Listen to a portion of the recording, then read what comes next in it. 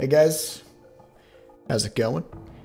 Welcome to, I believe, episode four of uh, Building Games with Seth. So we're building a game live on stream.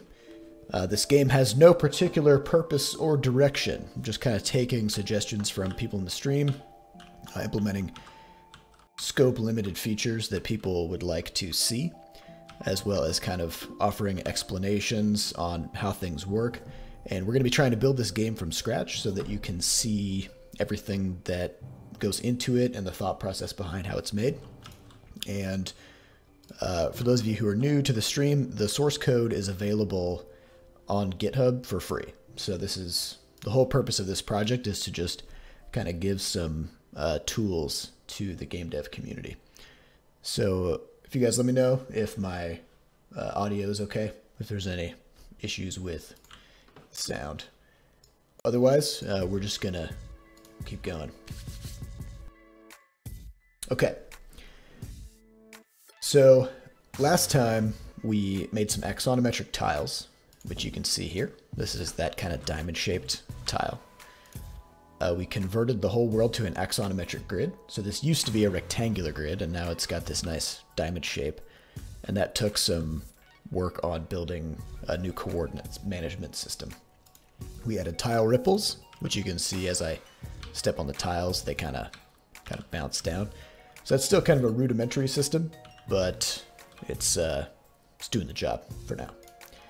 We also updated world generation to have bridges and directional bias. So you can see now our floating rooms are connected to each other. And I can walk around. And then the last thing we did is we added edge detection to player movement. So I can't walk off of ledges, and I have a nice little slide so that if I press against a ledge, then I'll still continue. Like if I press down here, I don't get stuck, and I just kind of slide nicely down. So we got some nice movement going on. We've got a nice sort of play space to start to actually do stuff. And so I think in this stream, we've got a few options of what to work on. so uh, I think probably we want to maybe consider adding some stuff to the world. Uh, maybe some enemies. So first, maybe we can throw some environmental objects in there, um, some enemies, and maybe some kind of player ability where we can actually start interacting with the enemies in some way. Um, I could also spend some time today on art and making some actual, some kind of representation for the character, the enemies, stuff like that. But uh, it's going to be the case that that's all still going to be kind of exploratory, just trying to figure out what it is this game is, is about, because we haven't really landed on that yet.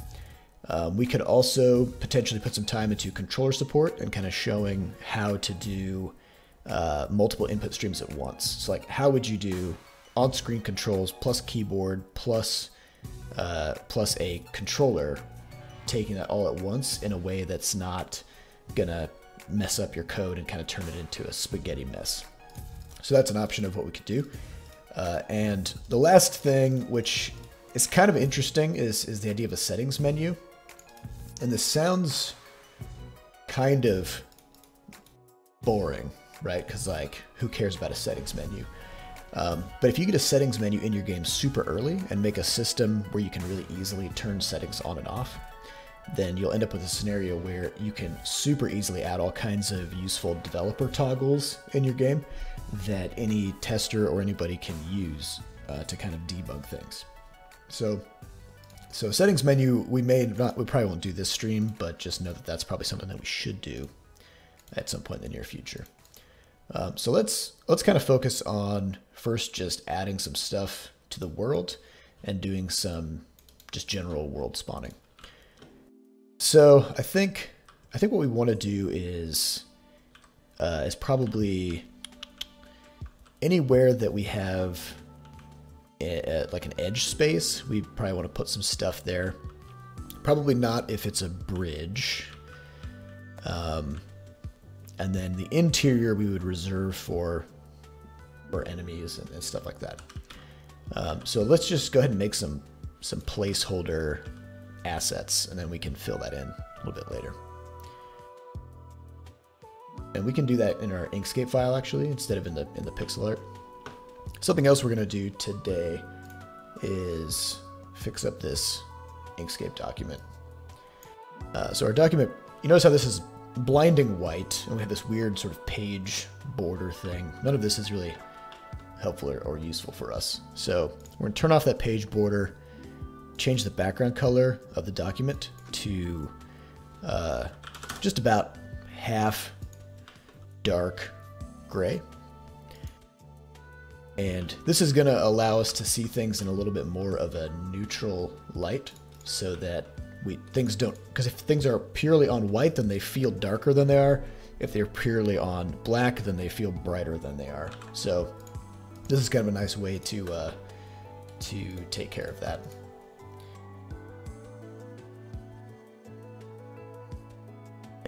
let's get these bounding boxes okay so I'm going to make uh, a placeholder object that's just going to be kind of like a, a world doodad of, of some sort. And a, a, good method to use is, is to keep a template available for a grid space so that you always kind of have a, a nice clean reference for, um, for sort of what, what scale things would be. So I've got my grid space here, just to kind of lighten that up. And I can kind of center that. Move this down. So we can give ourselves some vertical space here to make some kind of a, an environmental object. So we could do a couple different ones, which is probably a good idea so that we get some variety.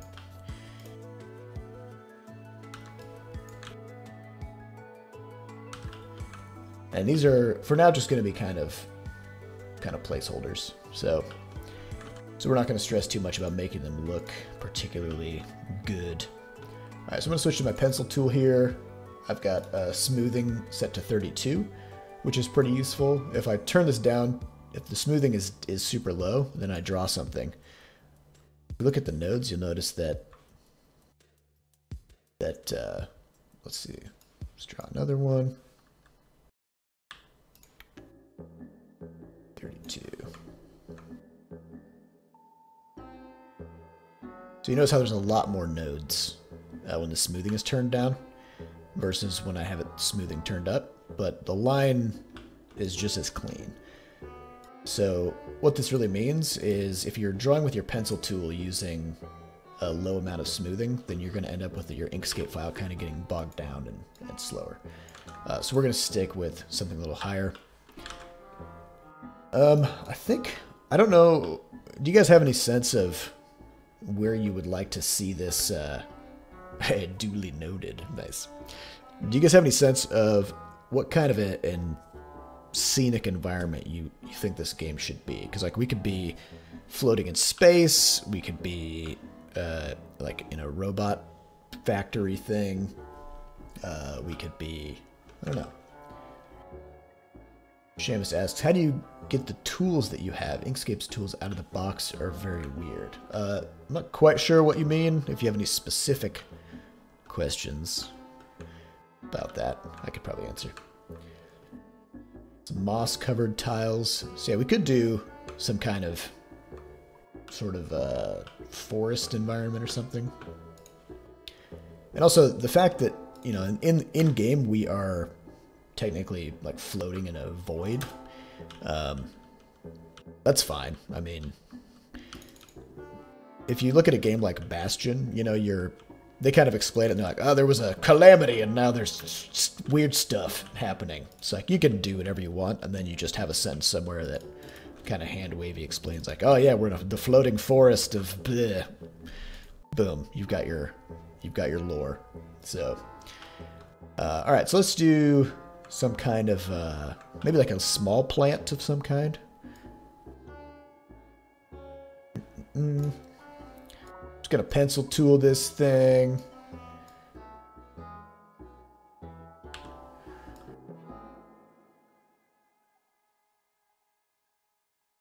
Now, I'm not our studio's artist here, so this is going to be pretty rough.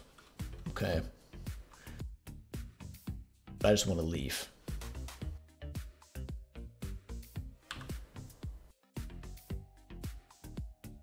And when you're working on shapes, sometimes it's better to just cut nodes out.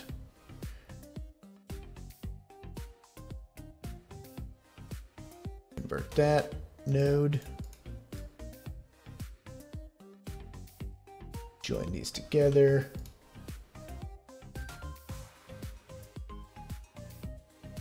And we don't need to spend a huge amount of time on this because we're just going for sort of atmosphere. Later on, what we do uh, as game developer is you get your friend who's good at art to remake this stuff.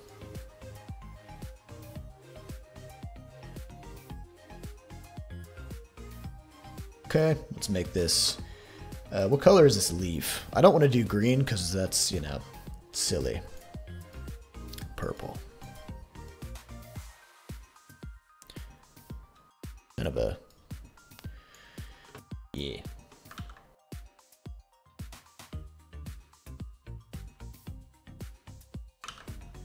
The Inkscape UI isn't very intuitive. Yeah, I've tried to use um, Illustrator, and it uh, I, I find that I don't quite get that workflow. So I think everybody's just kind of got their thing. Maybe it's part of what you're used to.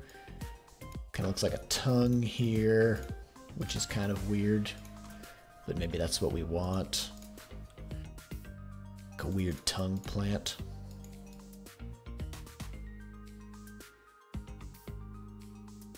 Yeah, this is a tongue plant.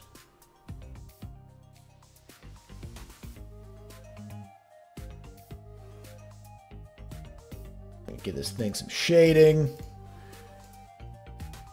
So if you if you select something in Inkscape and then you hit Control L, it'll simplify and kind of cut down the number of nodes, which is also pretty nice. It takes away some rough edges and stuff.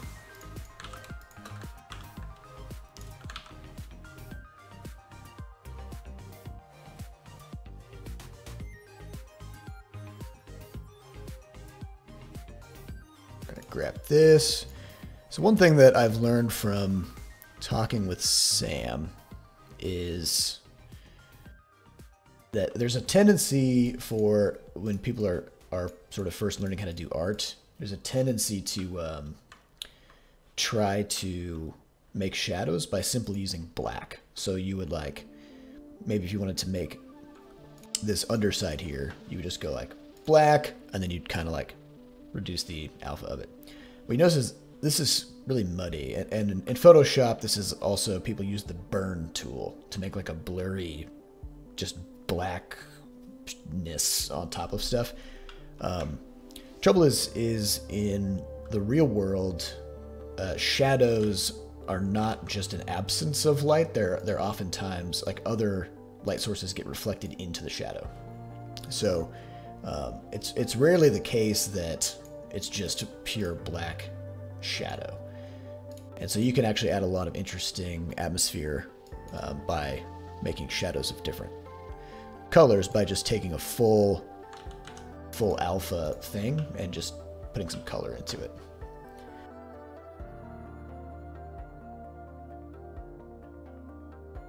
Give this a little bit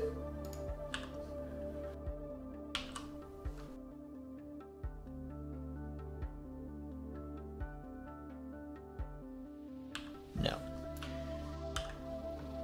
All right, we'll just do this. Yeah, and if you're in space, uh, your, your shadow's just going to be totally black, so there's that. All right, so we're going to grab this weird tongue. Actually, so another thing you can do is you can use different, you want to kind of establish some rules for your line thicknesses. So so I can say, like, this outer line here is going to be 2 pixels. That's 32 pixels. 2. There we go, okay. Uh, and interior lines can be 1 pixel. So when we zoom out, um, then you'll you'll kind of see the, the silhouette of things a little bit better. And I could probably even do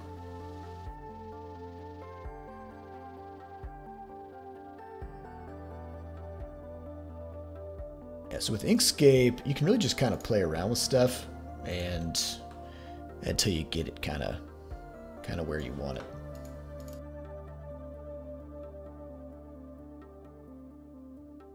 And like I mentioned last time, this is a good option for people who who can't draw very well. It's just uh, play around with nodes.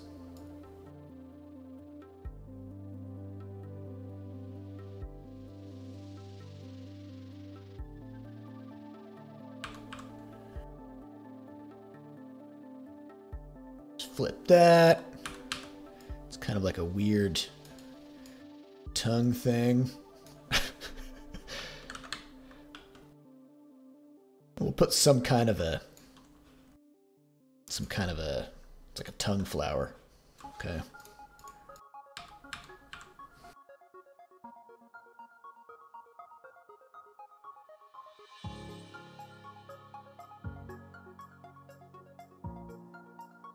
Kind of go in and just tweak some stuff a little bit to update the perspective.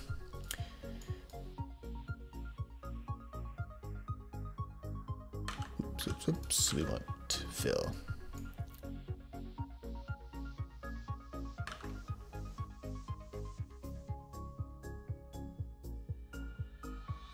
So secretly, I'm just doing this stream because I want to practice my art.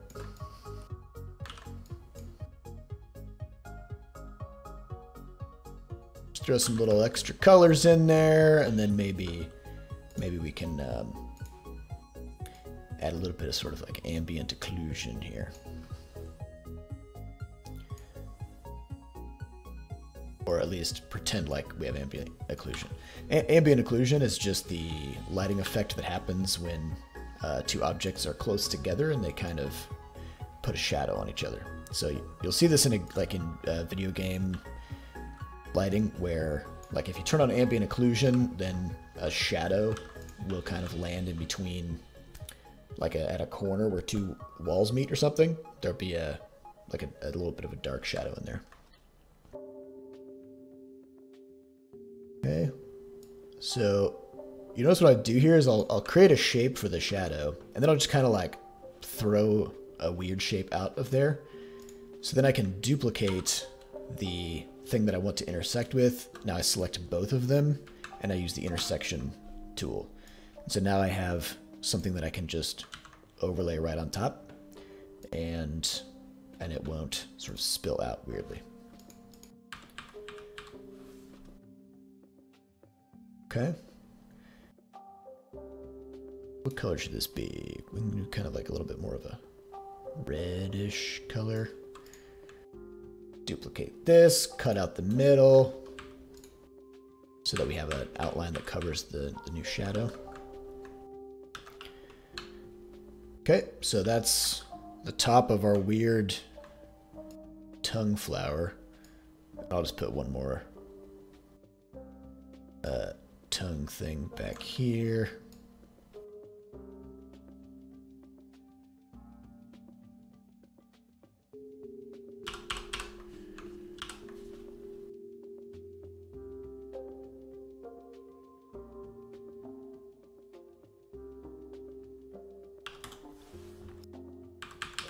One day, you guys, I'm going to convince Sam to make art for this game. And then all bets are off.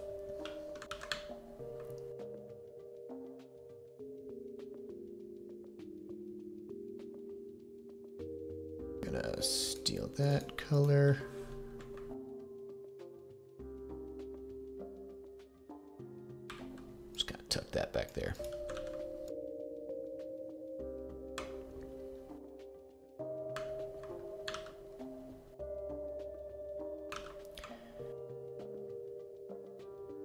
Now we need a stem for this thing.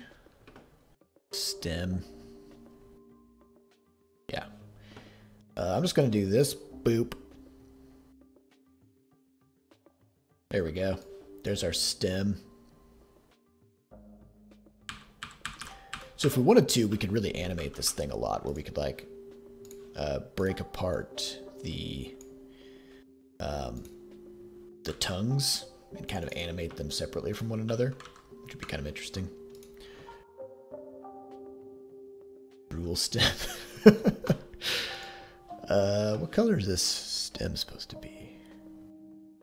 I think the stem should be kind of dark. One thing I learned from uh, some some like character design docs and stuff from League of Legends is they tend to have lighter colors toward the top of the character and darker colors toward the bottom, especially since they're looked at from the top down, because it kind of highlights um, you know, their head. All right, so we have this rectangle. Um, we can give it give it some like feet, I guess.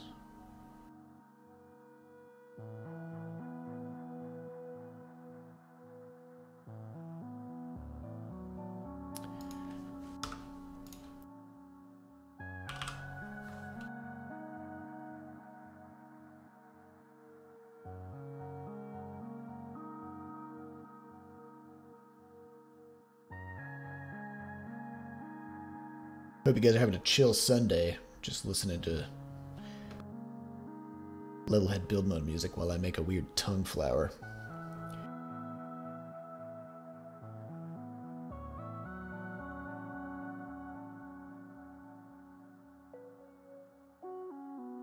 Can we join these nodes, or can we not join these nodes?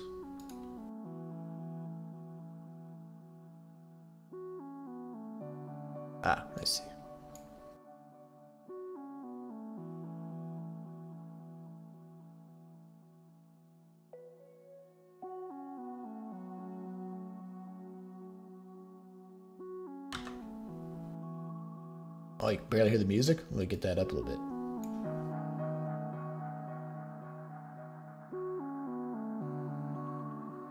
Granted, I don't want it to be too loud.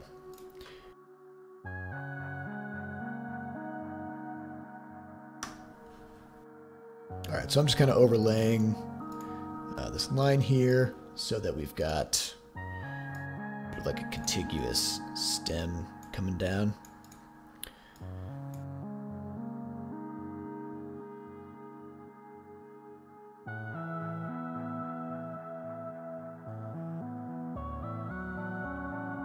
Okay, that's decent.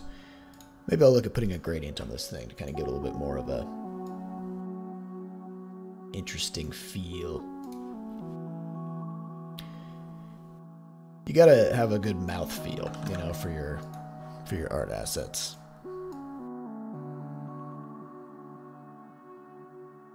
Okay.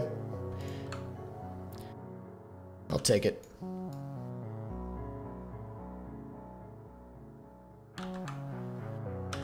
Alright, so you can see how this will sort of sit uh, in the world. Kind of a weird, weird thing.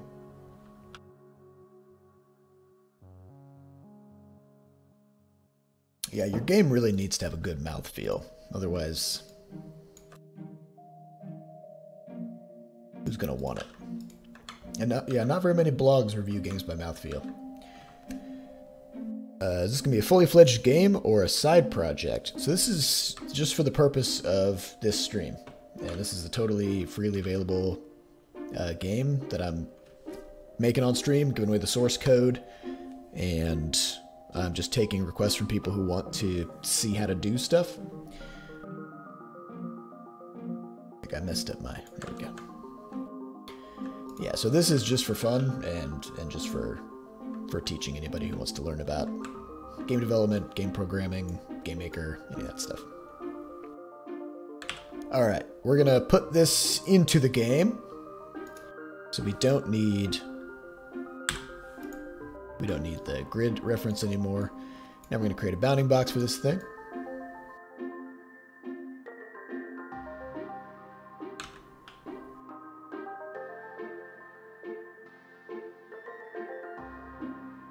That seems about right. It doesn't particularly matter because we can move the origin pretty easily.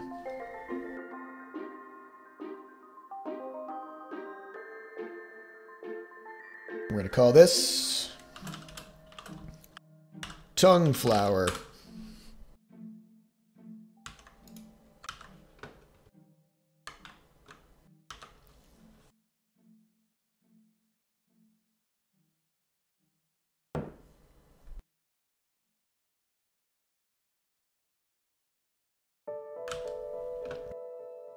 Yeah, Inkscape is all about...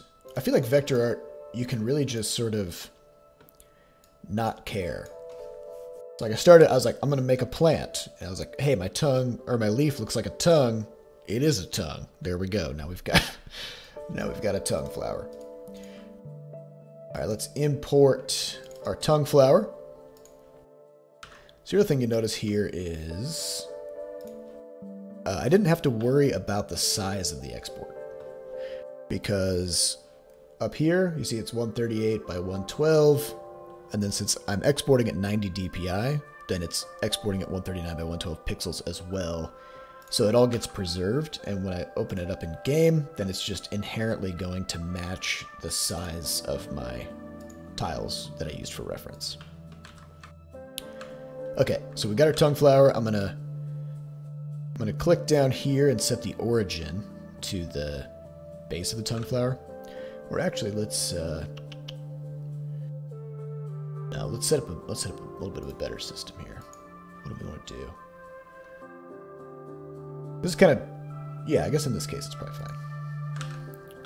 We may have to refactor some things with with how objects land in the world a little bit later, but We'll take problems as they come. Okay, so we have that. And we need to name it.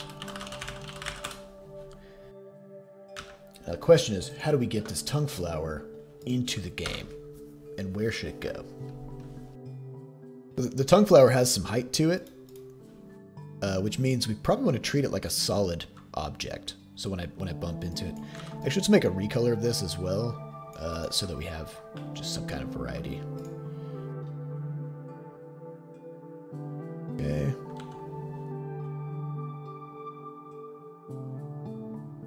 So you notice that. So I, I have these these tongues uh, sort of grouped together, so they're like one complete object. But I can use the uh, the path node tool and see how when I highlight, it grabs, it shows the red area around where that specific object is. So I can click on that, then I can shift click. And I believe I can just grab, yeah, just the tongues.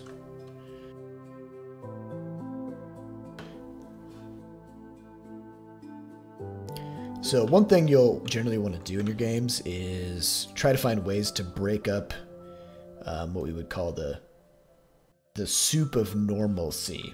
So you'll have objects that are super common, like this tongue flower, and they just appear everywhere in the game. Um, but having sort of rare versions of common objects is uh, is a nice way to kind of break up the monotony of, of having just too many of the same thing.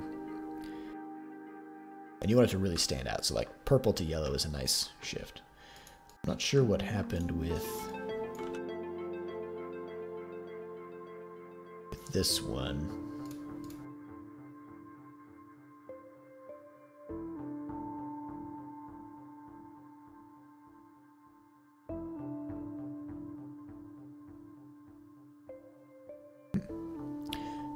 Strange. Um, another tip when it comes to working with color is you, you rarely want to go with the maximum. So like if I did, you know, fully saturated you know, maximum red. So anything that you have that's 255 red or 255 green or 255 blue and nothing else, uh, it becomes very blinding. So if I do this maximum blue, that's just way too much. If I do maximum green, that's also way too much. Maximum yellow is a little bit better because it's a mixture of red and green, um, but it's oftentimes good to kind of like tone it down a bit.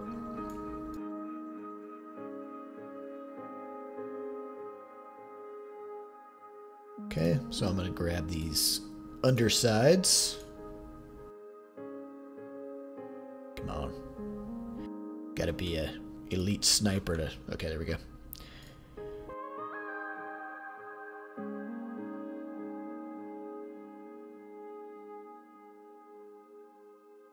And we'll grab these purple things. Make those These are just there for texture, so they can they don't need to stand out too much color-wise. And the interior, we got the wrong thing. Yeah, that's the stroke.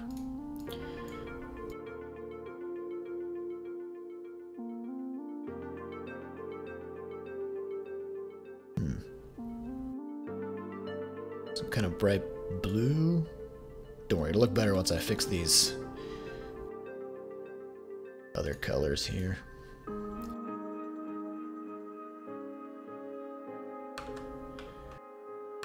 All right.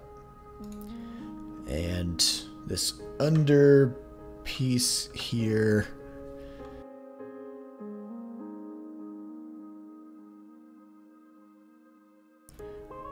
Maybe some kind of like a deep red or something.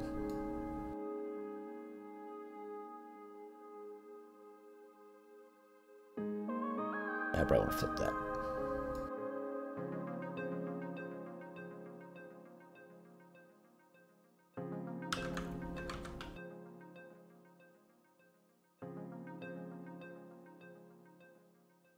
All right, so now we've got our sort of rare, that's a little too brown, I don't like that.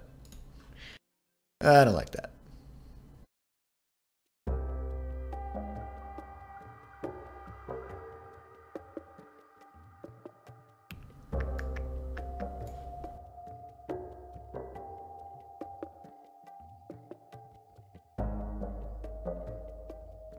Still pretty brown. Okay.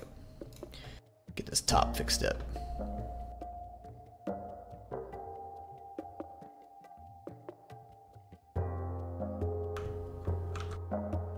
Okay. Uh, how am I doing the shadows on the stems at a gradient? Yeah, it's just a gradient.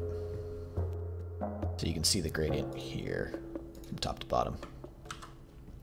So I would probably normally also do maybe like chop it like that, or even potentially add a shadow that kind of descends like this.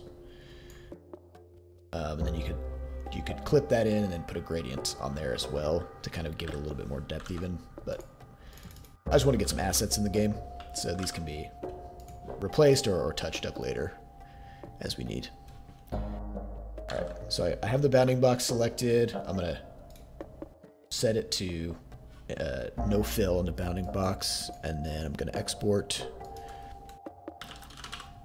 tongue flower special, which sounds like something you could order at Denny's. Okay, uh, and I'm going to import. I'm actually going to add a new sub image. Let's see, image.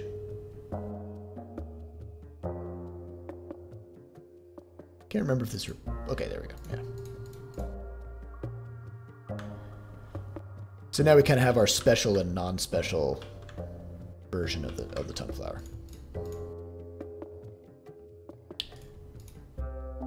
Um, so I'll, I'll push this out actually before we start spawning this thing.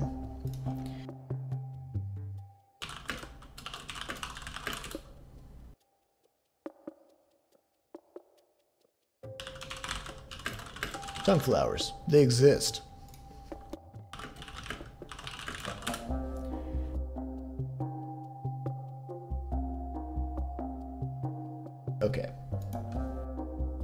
Why do they look so pixelated in Game Maker? Uh, that's just due to the size that they got exported at. So they're zoomed in a lot. So these are 139 by 112 pixels. If I hit this, then they zoom to their actual one-to-one -one scale. And then you can see that they are in fact not pixelated at that scale.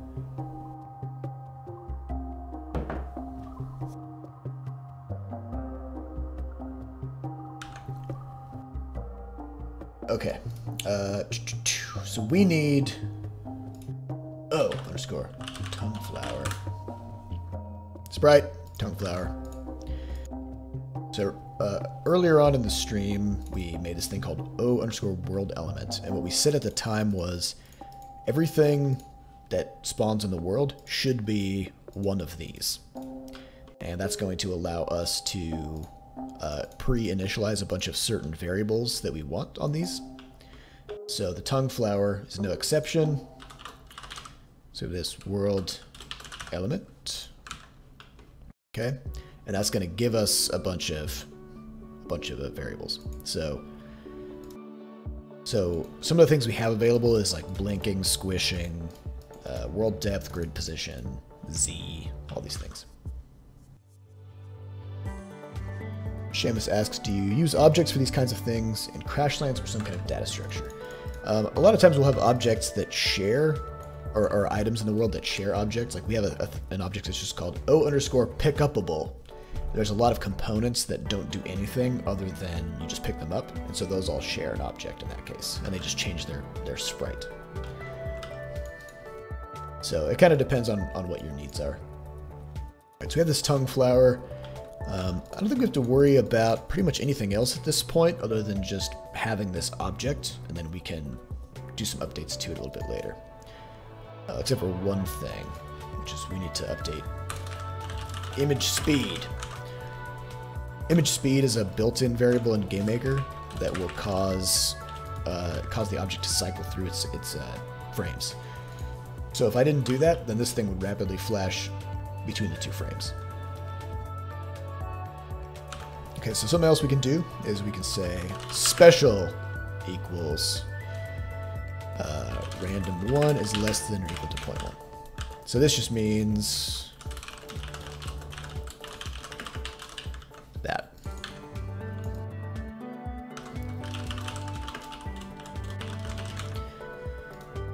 So in GameMaker, uh, Booleans are just numbers. So in a lot of languages, this would turn into like special equals false. In GameMaker, this is special equals zero, uh, or special equals one. And so I can set the image index as special. But there's another weird thing about Booleans in GameMaker, which is probably good to know, which is that something is true if it's greater than 0.5. Presumably it's because things get rounded uh, when evaluated, I would guess, or something. Giant Muskrat says, is it a bad idea to make sprites two times the size in Inkscape and then scale it down? Uh, does locking an asset size cause problems? It kind of depends on what you're going for. So in this case, I might want to make like a, a large version oops, of the flower. So you'd have like a big one like that or something. Um, in that case, what we would probably do is actually export multiple sizes of the flower because we may also need to touch them up, add some detail. When you scale things down, they tend to get what I would call crunchy. Um, the anti-aliasing gets applied before they get scaled, oddly. So when they scale down, then you end up with with edges of things that you can clearly see the pixels and they kind of a little bit weird. So you should you should kind of try to uh, keep things fairly close to the scale that you want. What we will tend to do in a game like this is um, we would add some kind of a scale modifier, which I think we did with the berry. So the berry has this scale mod. Um, so we, we could probably actually just steal this code from the berry for now.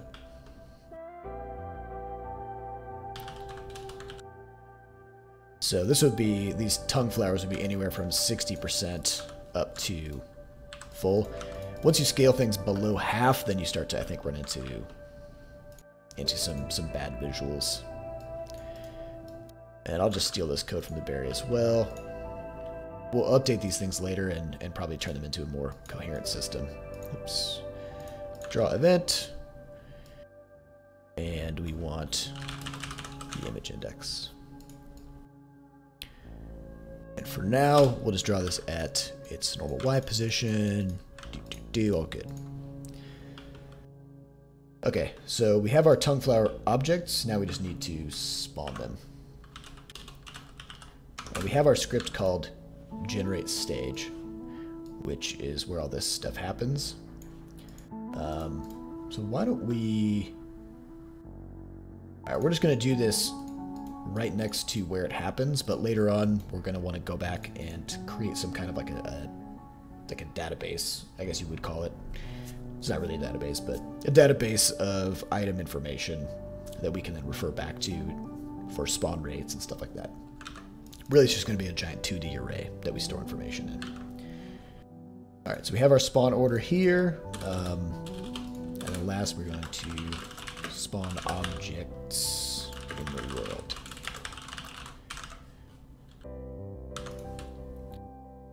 You guys see that text okay? Alright, so we have our terrain locations, and we have our terrain types. Okay.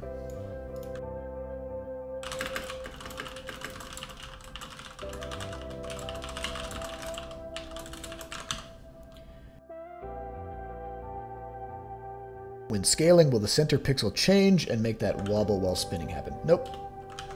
It'll the center pixel will be proportional. So as long as your center pixel is in fact in the center originally, in the normal version of your object, then you won't run into issues with that.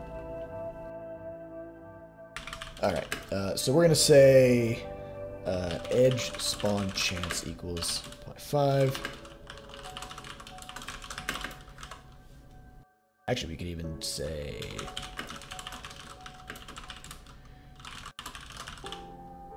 spawn chances uh, interior. Let's see, terrain type dot interior equals. We can give different spawn chances by the kind of terrain we're talking about. And we're going to run into some trouble here because we actually overwrote our bridge terrain with edges. So this is gonna this is gonna get a little bit tangled. We're gonna have to figure that out.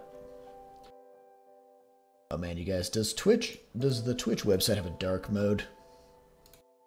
Because I'm looking over here at chat and oh it does. Oh thank God. That's so much better. Why is light mode the default for so many things? It's the worst.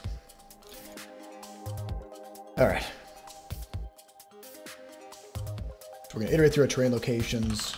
Uh, terrain holes.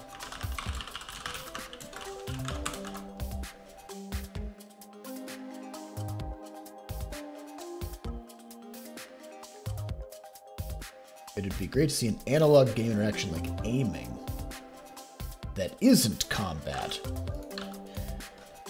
You want to aim, but not use it for evil. This is what I'm. This is what I'm gathering. you want to aim, you know, your watering can and grow some tongue flowers. All right, this terrain coordinates. Uh, let's see.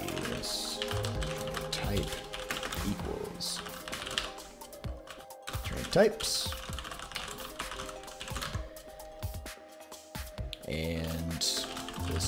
Spawn chance equals, oops.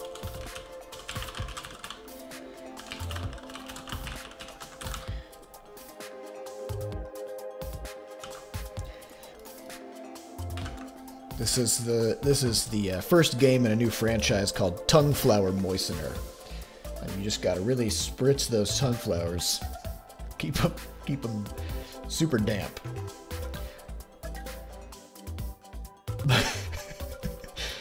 And there's going to be a lot of push notifications to make sure that you don't mess it up. We don't want these tongue flowers dying like your Tamagotchi did back in the 90s. Alright, this spawn chance, uh, random, random spawn chance.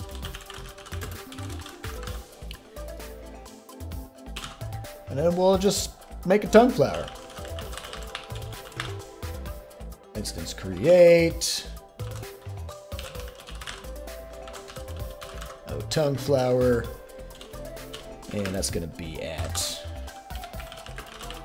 this box equals. These are stored as coordinates, yeah, okay.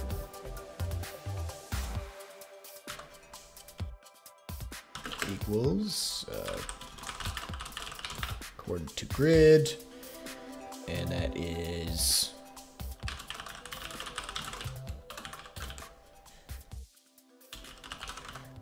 position. So you might notice here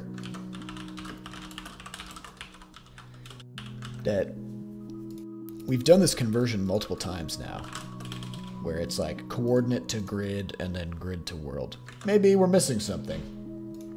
Maybe we're missing a coord to world.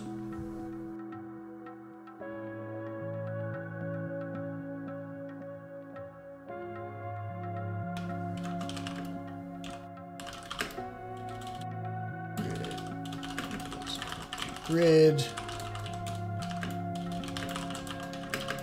equals world.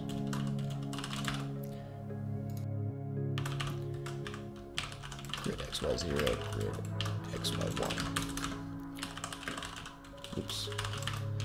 You ever get your hands off of the home row and then you just just sling some gibberish? Love it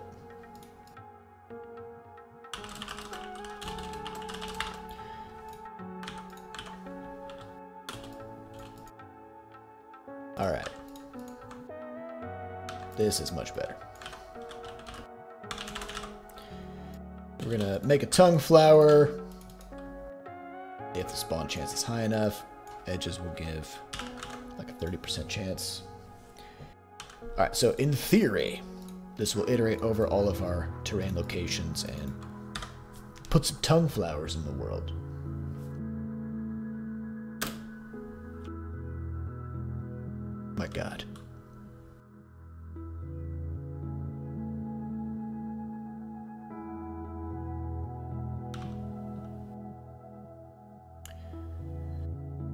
Okay, so what are we seeing here?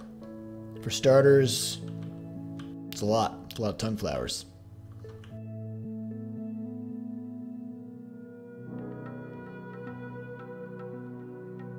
I think I can get rid of those berries.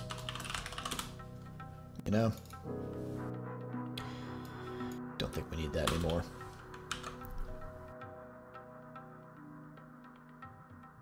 Okay, so the shadows under these tongue flowers are not really visible. Also, they're just kind of sitting there, which is boring. I think we probably want to maybe add some squish squishness.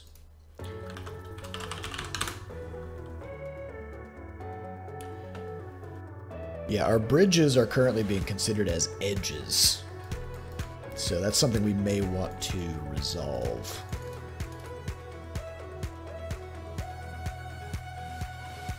Yeah, mine skills. I think Gandhi said that.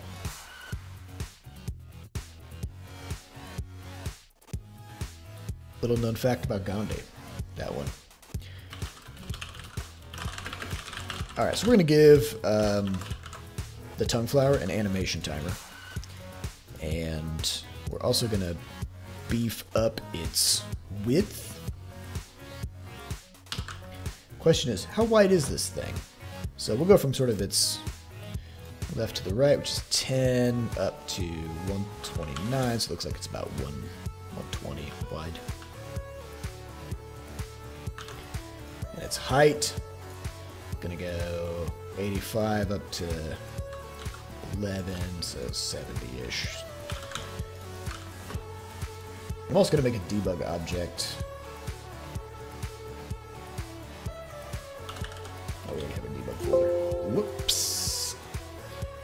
Think a debug object that draws hitboxes.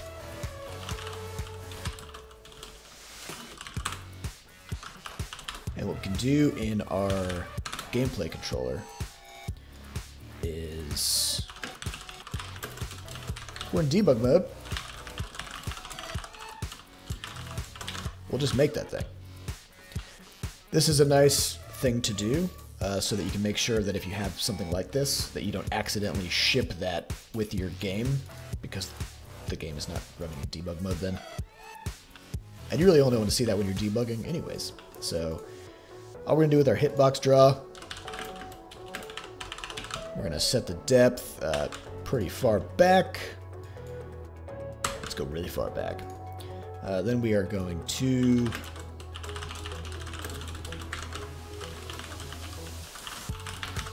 we're going to draw a rectangle.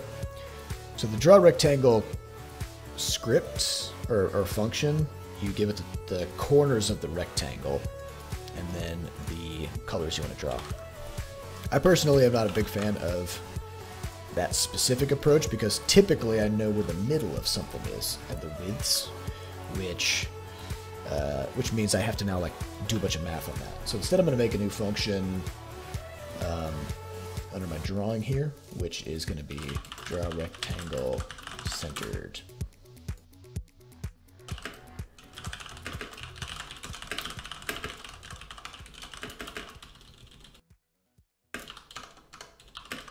So I get two. I'm actually going to take half the width and height, which you'll see why in a sec. X center minus that.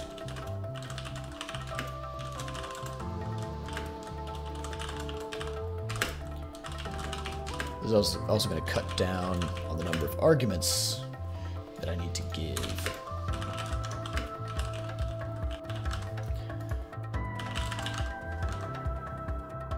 And we can even do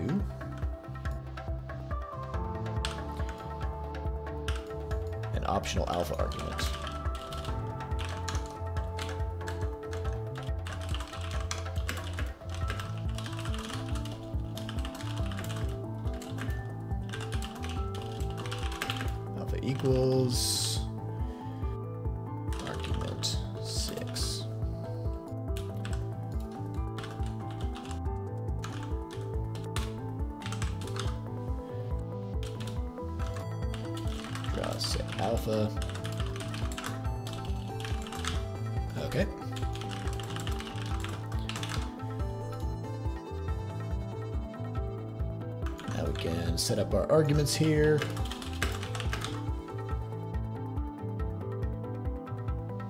little bit more human readable.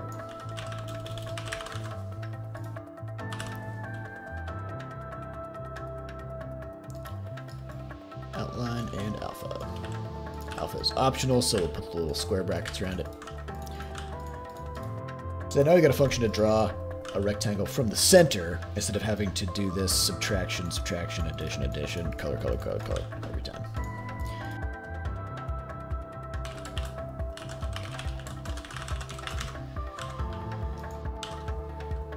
Alright, so my x center is just x. My y center, we're actually to draw it from the y minus height, 5. Width is width, height is height. And color is, make it lime. Lime is a good color, that's just 255 green, nothing else.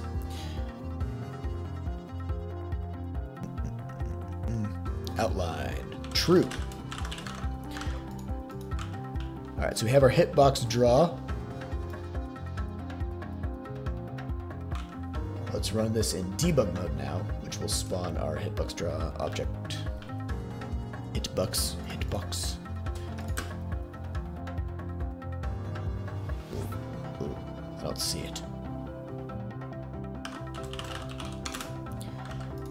Possible.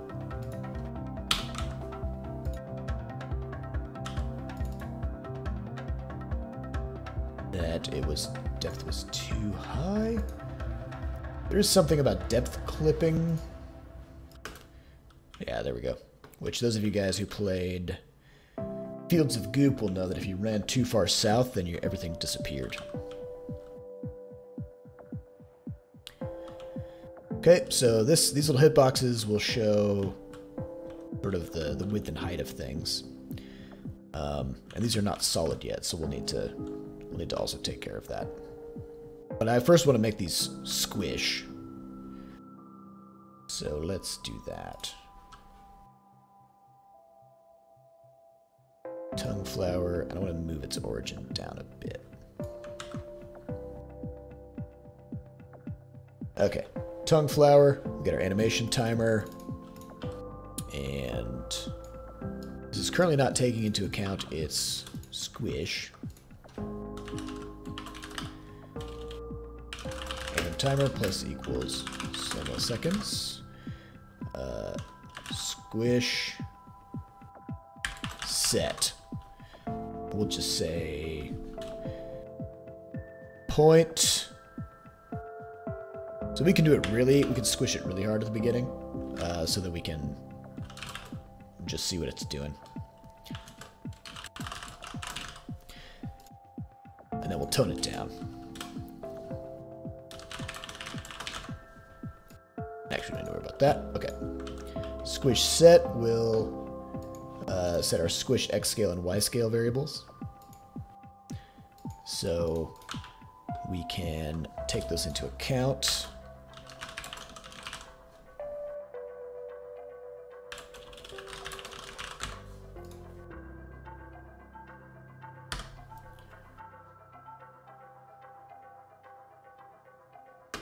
Starting to look like a game. Ooh. I hate this. uh, look at that. Oh no. What have we done? They kind of have a jellyfish sort of a mouth feel, don't they? Okay. Um, so we want to slow that down and really knock down the squish amount.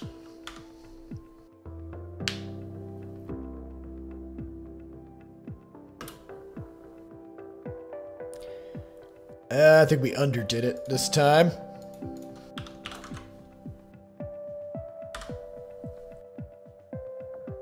Well, you want some maximum squish? okay, so now they just have like a little bit just a little bit of movement, which is, that's all you really need. You just need something, you know?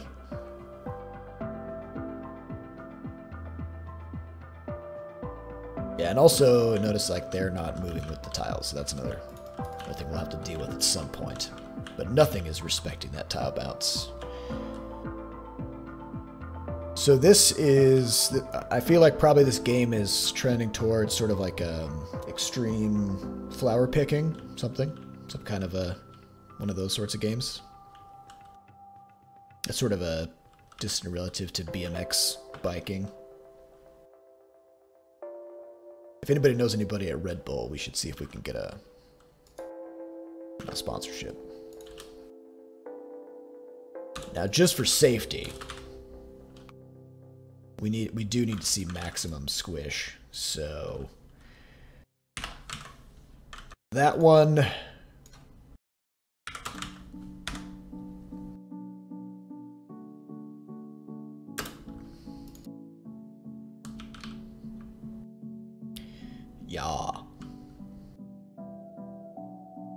That's nice.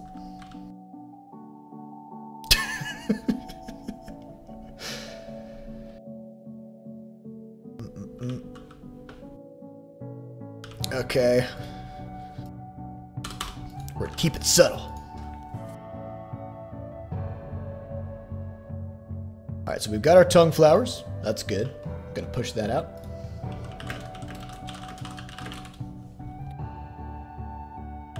Tongue flowers are now spawned in the world.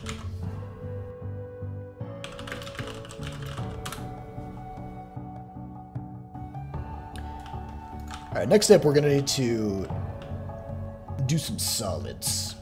We're gonna need to do, do these as solid.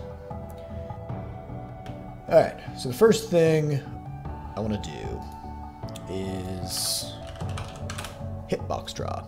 I don't want to just draw uh, a rectangle because I'm actually going to set a circular hitbox around the base of these flowers.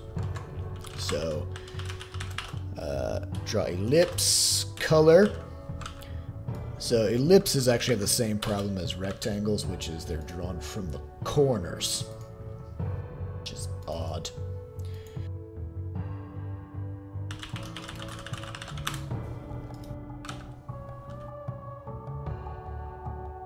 Alright, Caliber. I'm happy to be background noise for your jam. Happy jamming.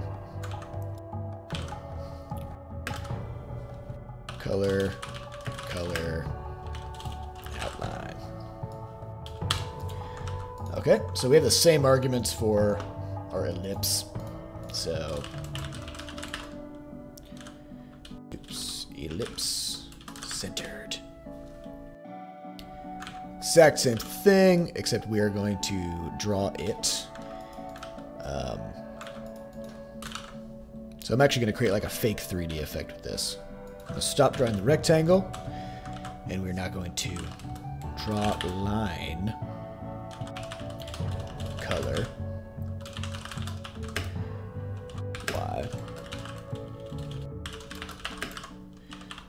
You just have to trust me on this one. This is gonna it's gonna be easier to show than to explain.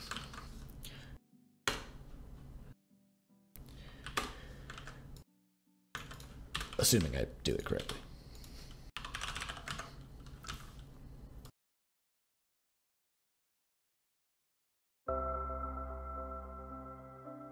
The ellipse.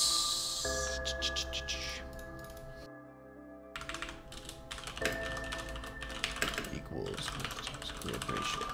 Alright, so we're gonna draw, we're gonna create sort of an illusion of a hitbox here to show what is actually going to be happening behind the scenes, and then we'll make that happen.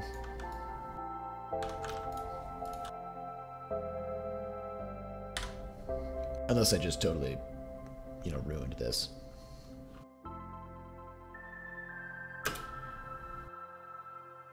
Debug mode.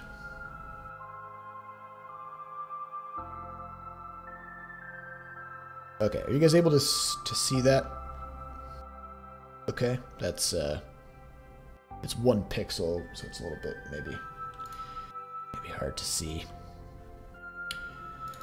Yep, so now we've got cylindrical hitboxes. And that's what we're going to want to use for our for our uh, actual collision masks. So I'll kind of show how to how to do that. Um, so this is basically what we're doing is we're we have a we know how wide the thing is, so we're gonna squish that by the grid ratio that was calculated uh, last episode, and that gives us the shape of the ellipse. We know the height of the object, and then we just draw that same ellipse on top. So now you can see we've got these cylinders.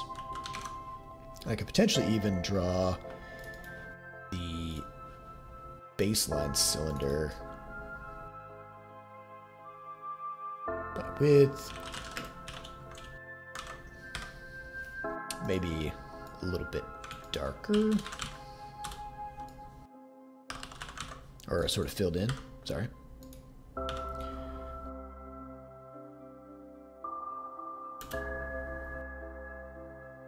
Okay, so that should give a little bit better sense of when we bump into stuff, that's that's where the, the solid collision should happen. Just like that. So that's what we're to do next.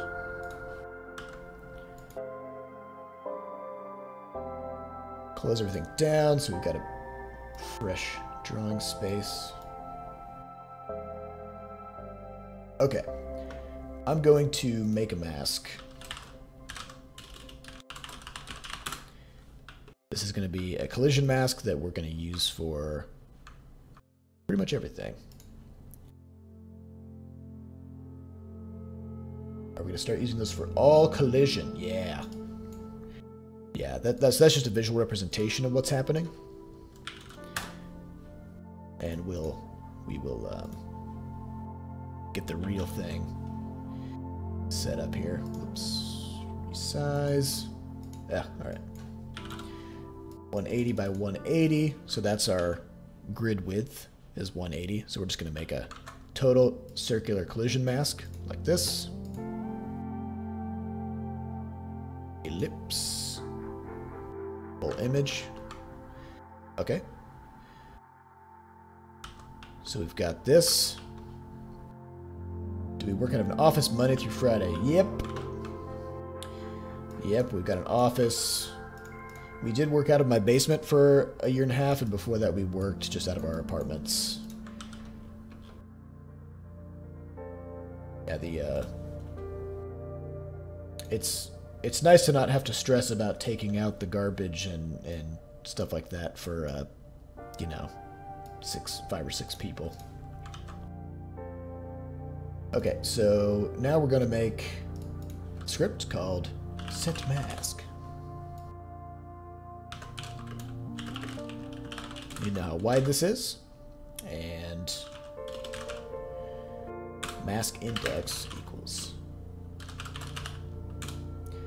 Did I build a spa room? I started to, uh, but it turned out that having a spa room in a closet sucks because there's no air circulation in there. So you go in there and then you just kind of boil, which is a less relaxing experience than I would have wanted.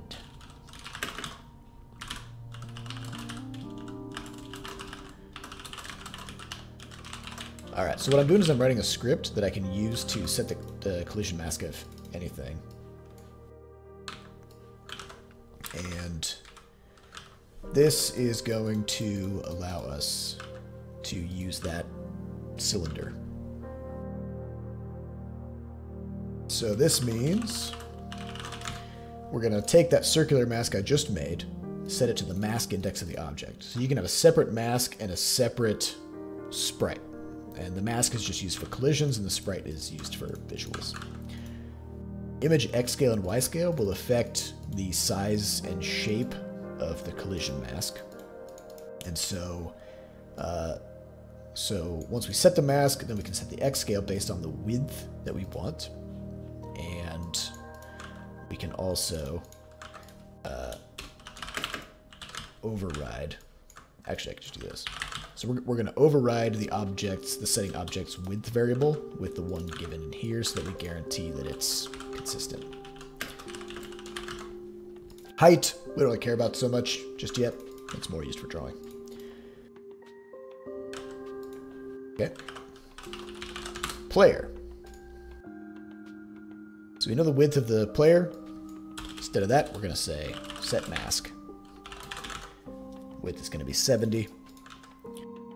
And tongue flower.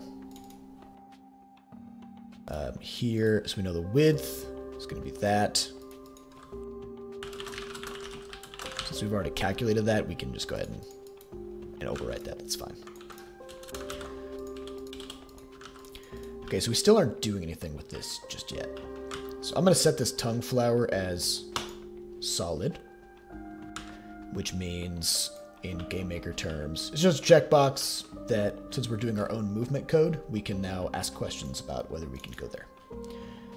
So the player's uh, world move these masks use a lot more computer brain than rectangular masks. They sure do. Elliptical collisions are more expensive.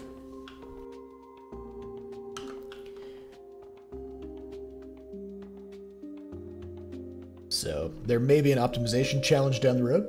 Something like, you know, deactivating instances off screen.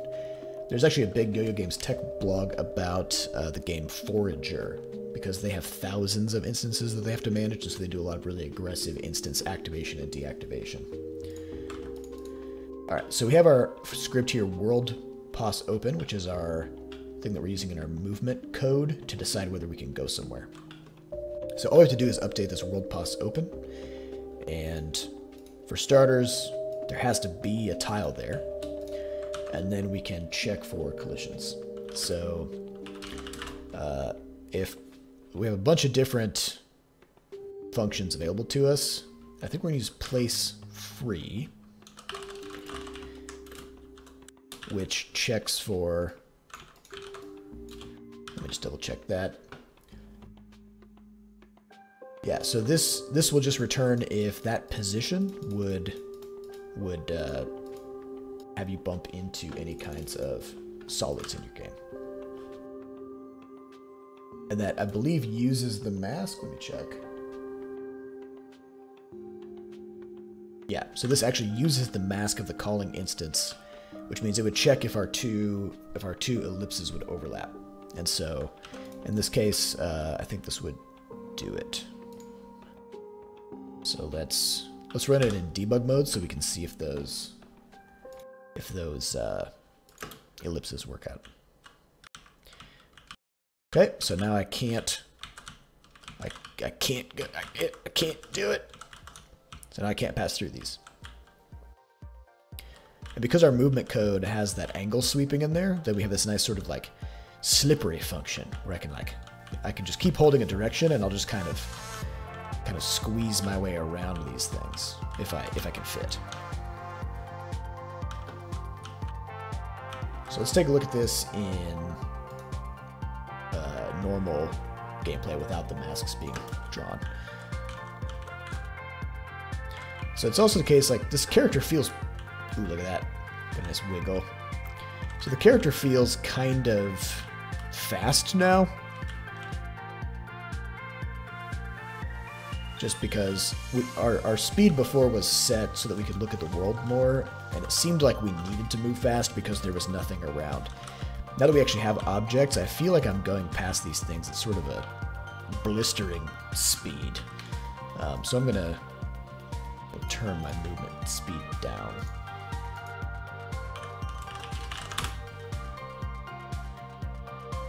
Six hundred, four hundred.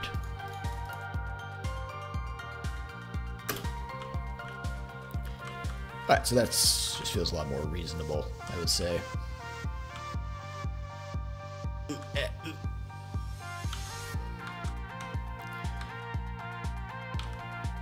Okay, so we're starting to get what looks game-like.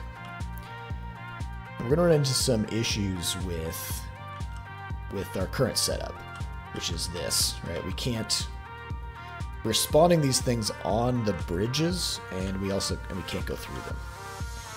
So one option is to update our spawning code so that these don't spawn on bridges. Another option is to give the player some means of destroying these, um, which is probably something we would just want to do anyways.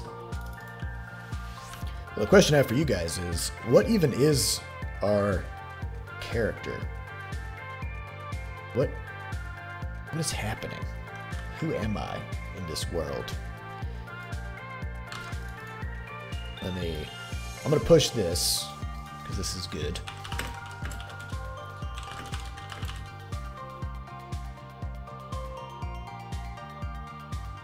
Uh, objects in the world are now solid, and they have collision masks.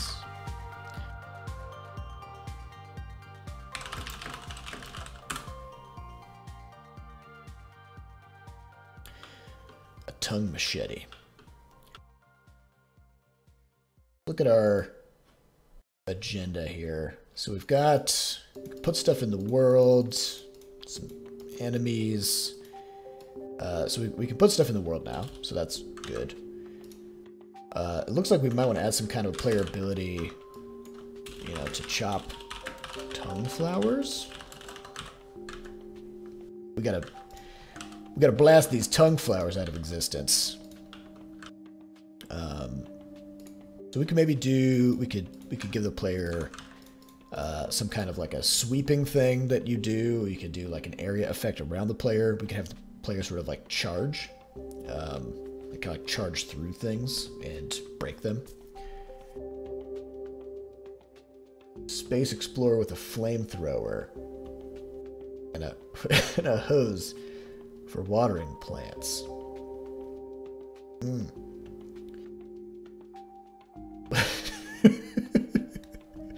Why did there have to be tongue flowers?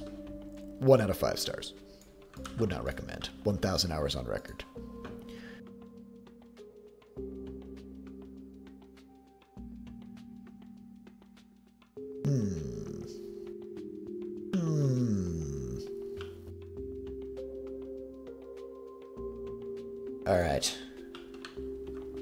Kind of weirdly like the idea of like gardening doing stuff with these plants.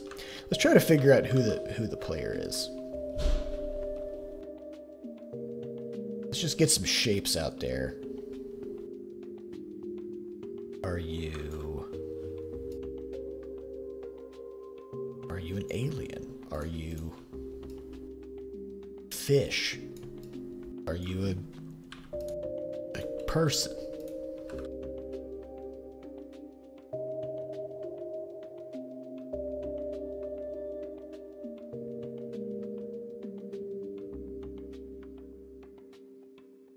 Do you have a head? Do you, are you just a head? Are you hunchbacked? Do you have arms? Do you have fins? What's the deal? Landscaper. Gravekeeper.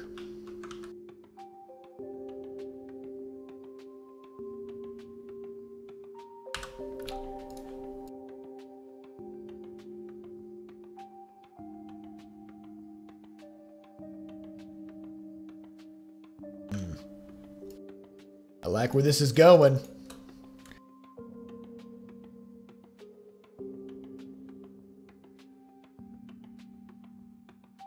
Kind of a kind of a green green character. Let's get a let's get a head put together here. Get the pen tool, a little bit of a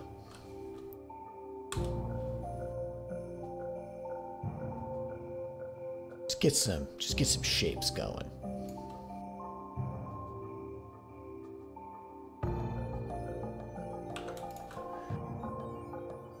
Center those.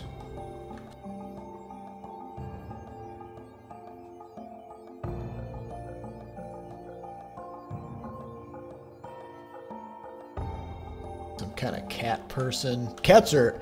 I've heard that uh, cats are pretty big on the internet these days.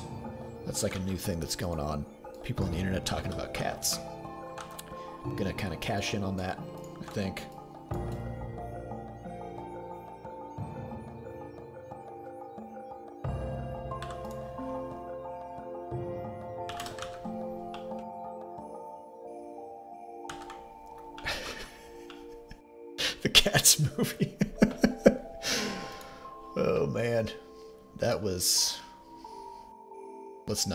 Let's not go there.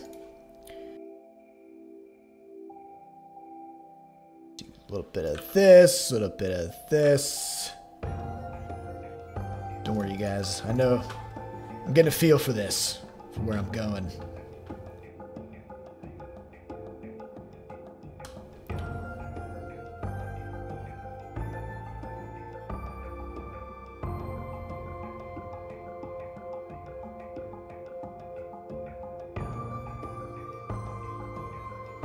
That was close. We almost made a game about cats. Now it's got horns.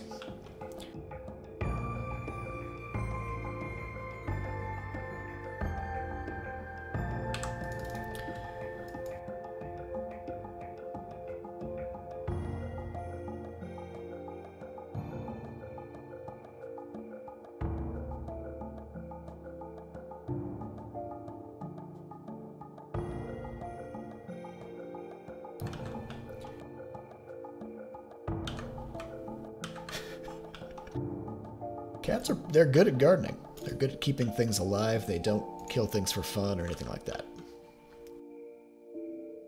Kind of it's kind of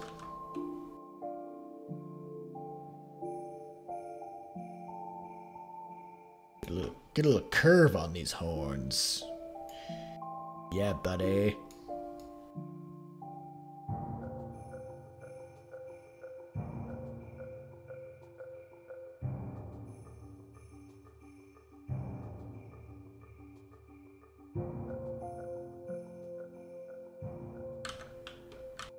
It's Gerblin.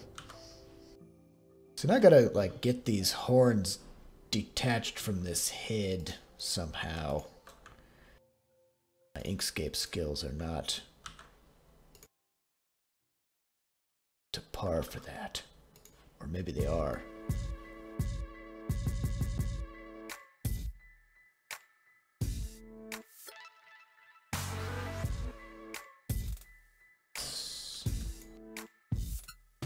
Intersection. Yes. Duplicate that.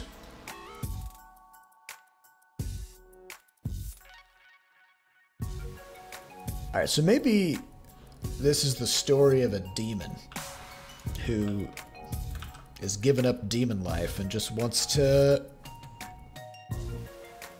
grow some flowers.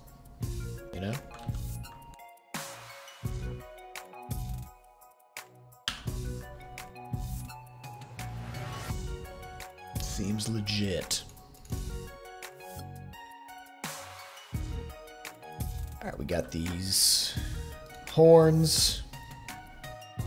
Are demons green? I'm not up on the I'm not up on the lore.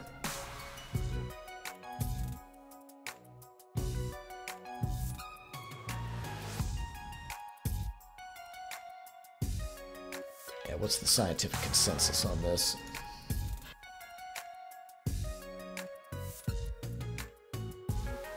And this one I am gonna just knock the alpha down.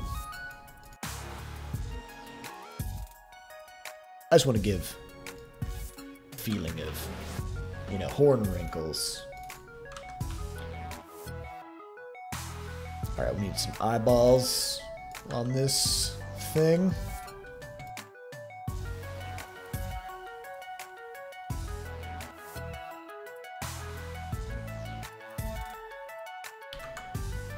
Zeok, once you, uh, once you get done with the tongue flower stuff, just, uh, if you could take a look at what's been going on with demons lately. That would be helpful.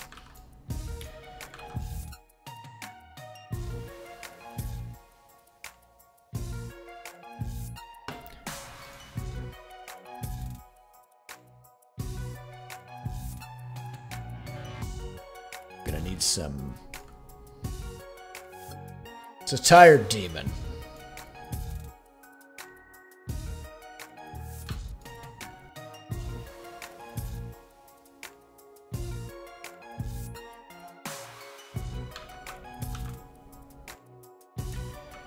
Is it a demon or a devil? I think it's just a just a low class demon.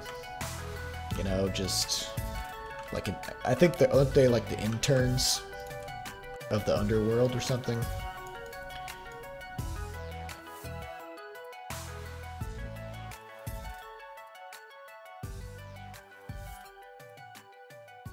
I don't know. It's just a green thing.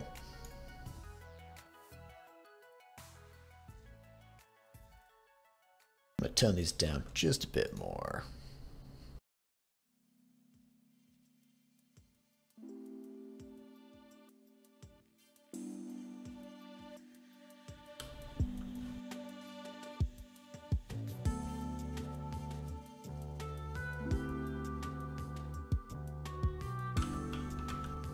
Think we got.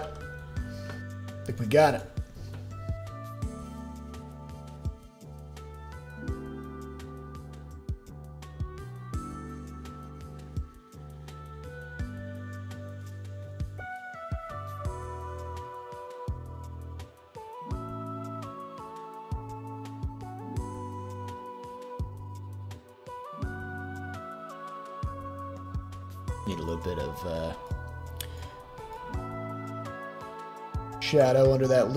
You know?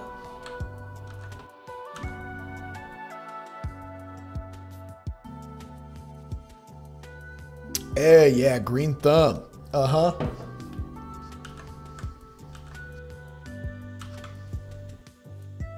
Green thumb. We got our game. Some kind of a monster. Just really wants to get into gardening.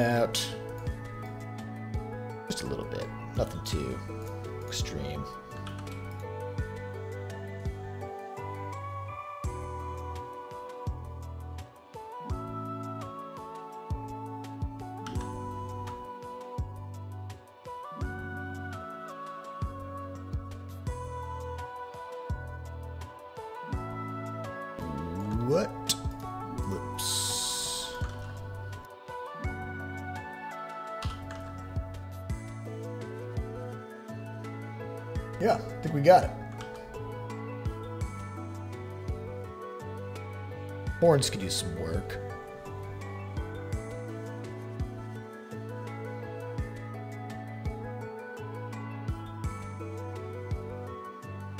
We could probably do a gradient on his head, just to kind of give him a little bit more of a. It's all about that mouth feel.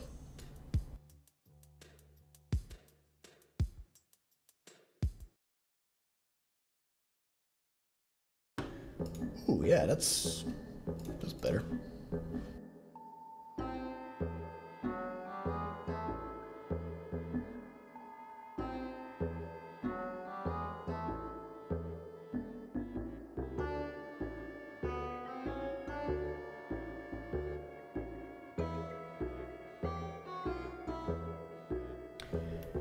How would we describe the mouthfeel of this demon?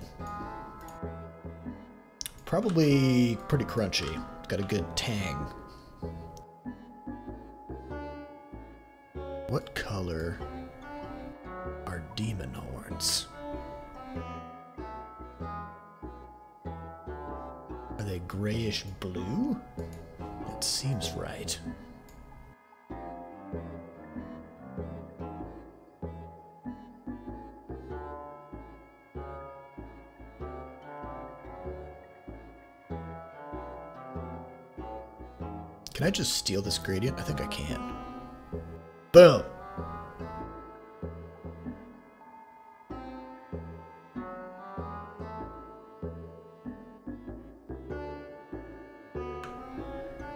Alright, if we zoom out, does this demon give us good vibes?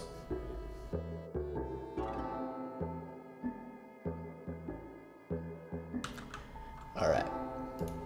And I'm probably going to animate I'm going to animate his head separately. So his head is going to be drawn off of his body. And that way when he runs around, then his head will kind of lag, lag behind. Yeah, he's got a good forehead going on. And by looking in two directions at once, this is a good strategy for finding the, the best plants, you know?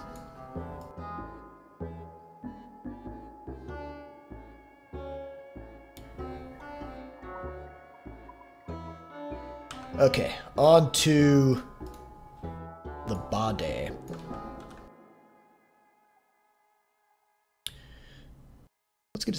First, actually.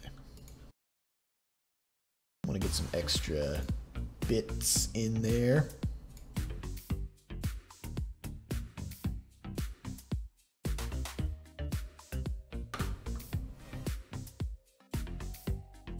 Merge those. Get that. Delete that node.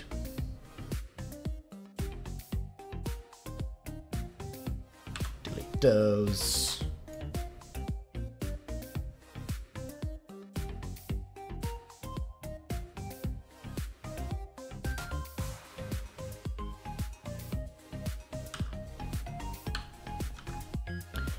Sam decided not to draw for the stream.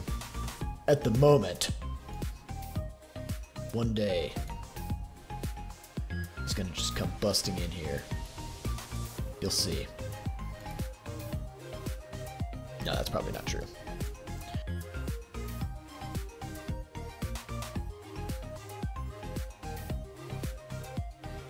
He's a very private worker. but he's working on stuff, he cannot be disturbed.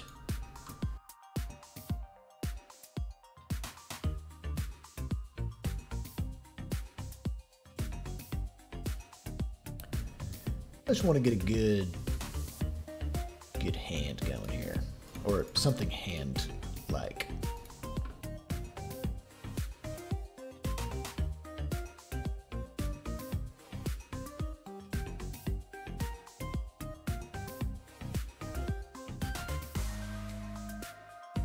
You know what they say about hands?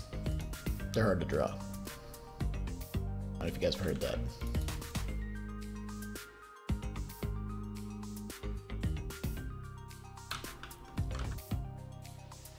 Do we have any hand artists on the stream? Anybody?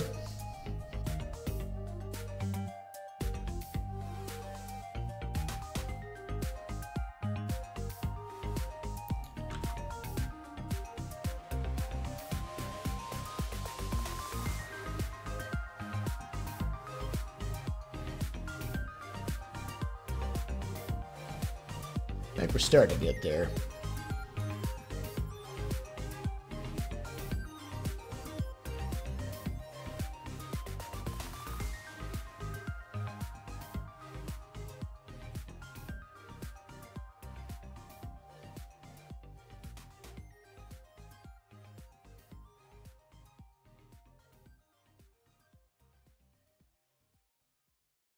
We'll just uh, we'll just leave it there.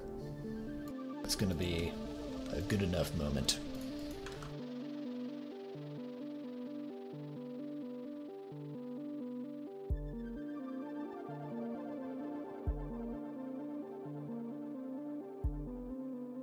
Make sure we get those rounded. I don't know why this thing doesn't want to turn into...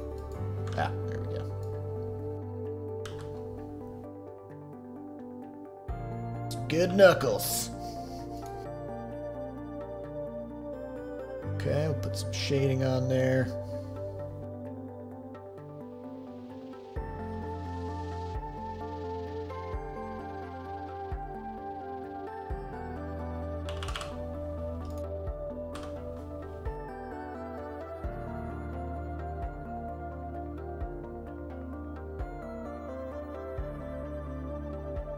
Same thing this area.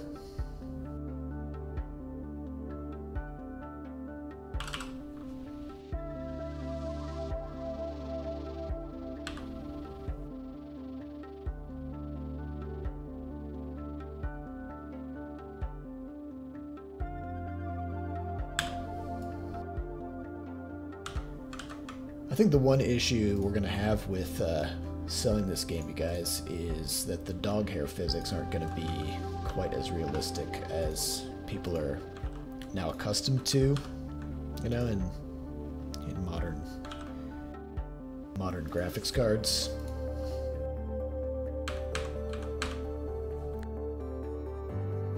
So I think we're, we're probably going to have to just avoid putting dogs in the game.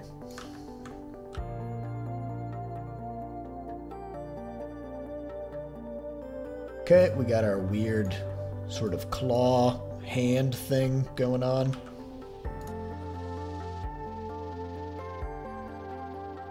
He's ready.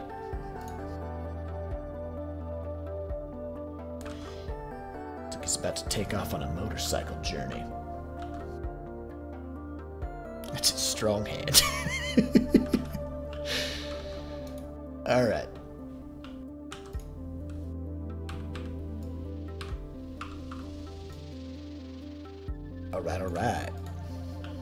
What is going on with his body?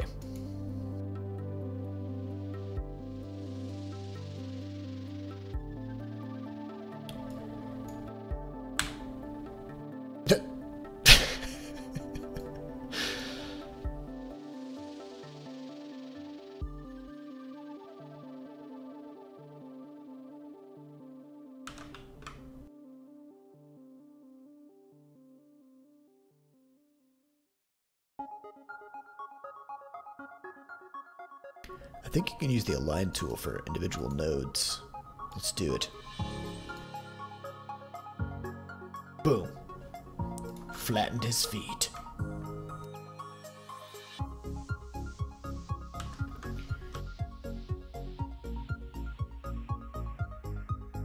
Overalls with pockets, I am on board.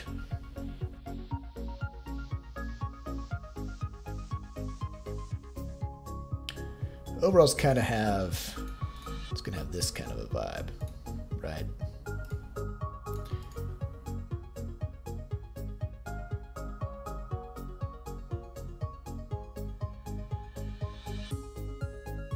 So we're gonna take this shape, grab that, give him some Do monsters have standard denim, or what's the fashion?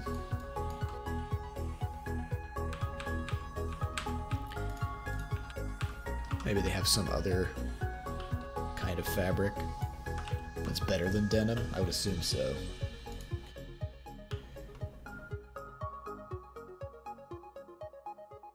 Let's kind of get that down.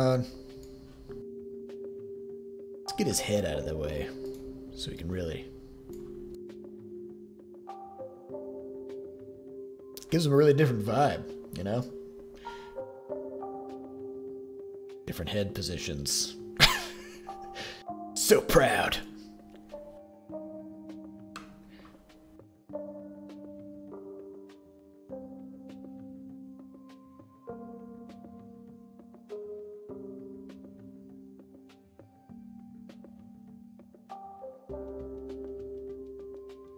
Okay, so we got that, and then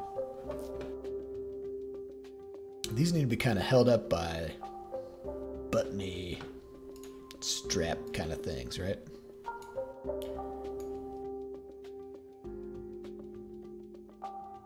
Haven't worn uh, coveralls in many moons.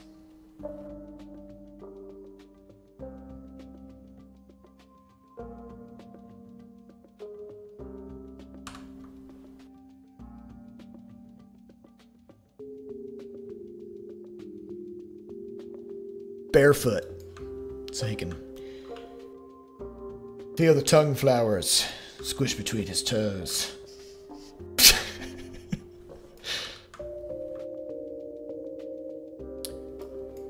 we want to...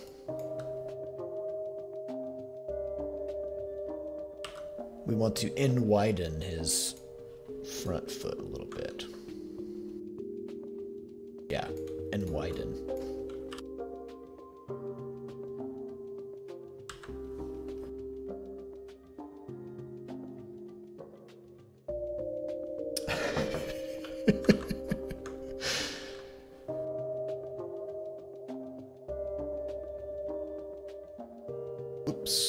what color is his shirt? He's got to have some kind of a... I want to do plaid, but that's a lot of shapes and stuff. So I'm not really down for that.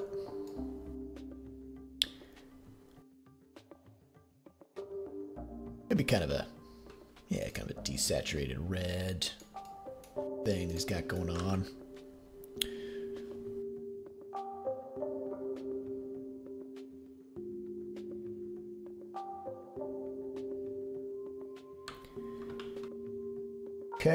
So we're gonna need some some pockets here.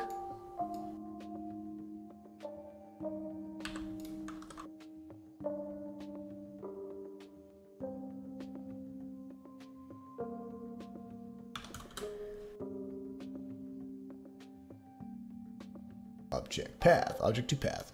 So I'm gonna want to get this character in and animated before the stream is over. So that's my... Got 20 minutes.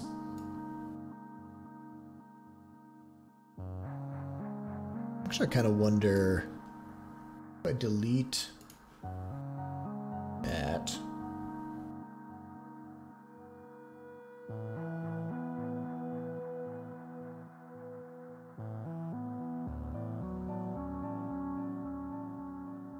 Maybe what we need is like a pocket sort of uh, shadow, you know?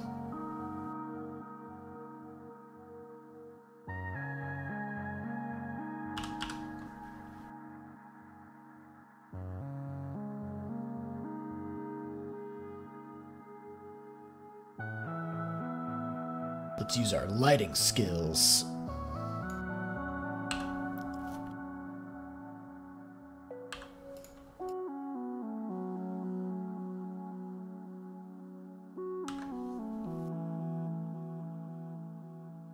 Oh, yeah, we can't do red. We can't do red shirt. That now this is Mario. Look, it looks just looks exactly like Mario. Nintendo's very litigious about these kinds of things, so we gotta tone it down.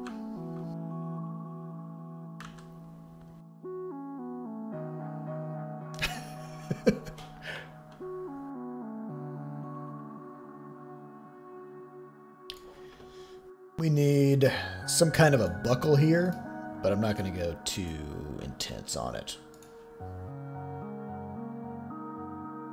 Normally there's like a, a button thing, and then you kind of hook it, hook it in there.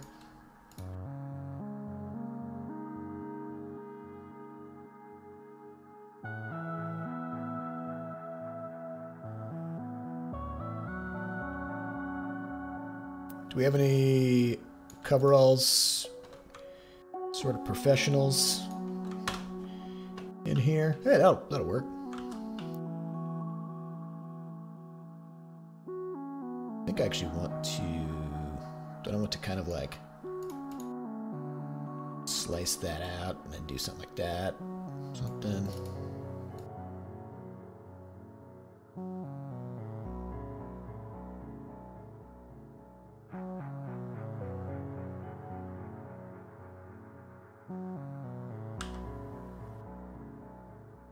Mouse to do horizontal flip. Oh yeah, what's the... Oh, there's just there's just an H key. Thanks. Thanks for that. You may notice that I only use Inkscape once a year.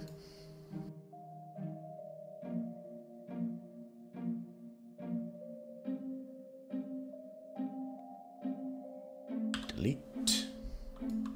Yeah, guys, if you see me doing something dumb, call me out on that because it's helpful for me.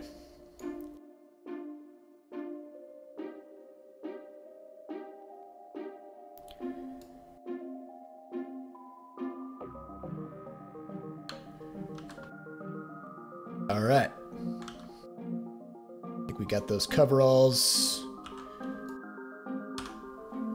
Cut off that excess.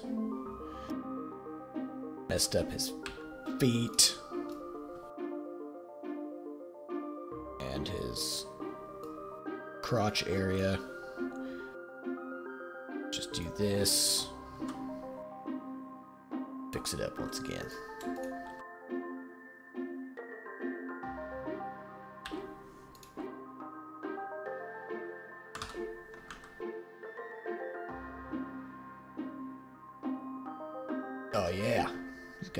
Thumbs in his coverall straps like a pro.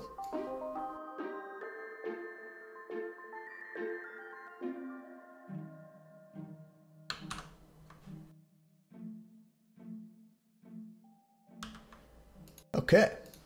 So we've got something character-like. Last we'll give it a little bit of depth with the power of gradients.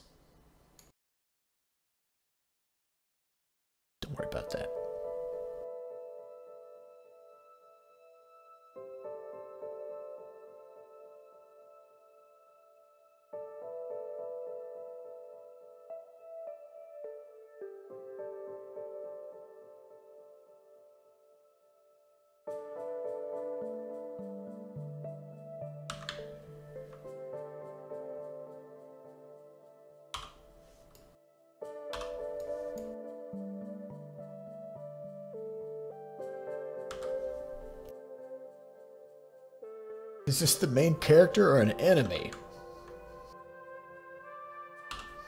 I don't know. This might be one of those games where, you know, you are your own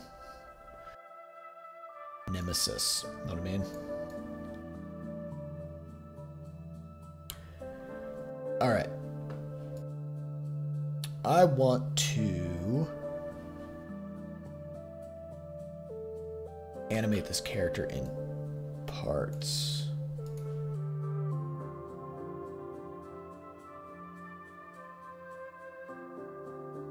So the body, we want to give a little bit more space because uh, we're going to have probably extra frames with wildly flailing limbs, which is important.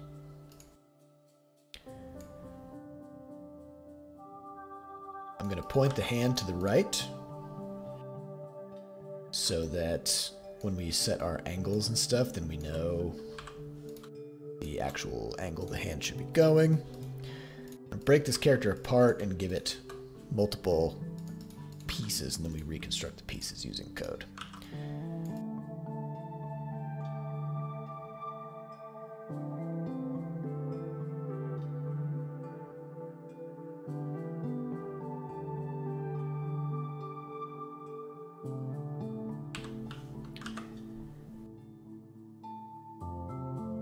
All right. Export time.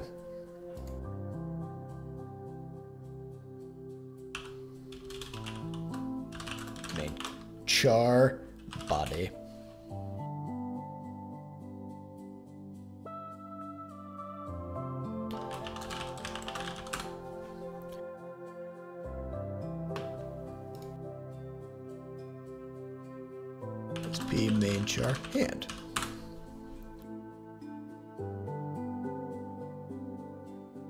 bring it in. Oh, yeah, blinking. Literally no point having this character if it's not blinking.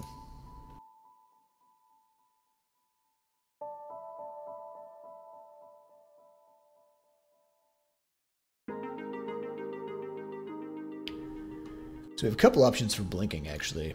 One really easy one, which I would recommend, is this.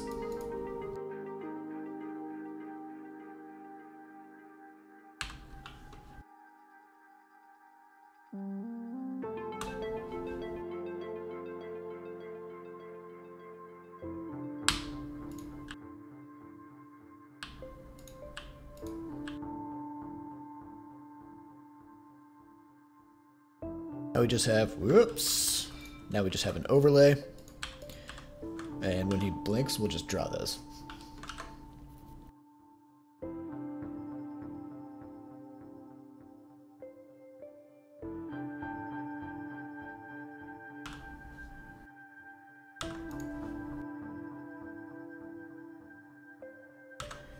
Curve them.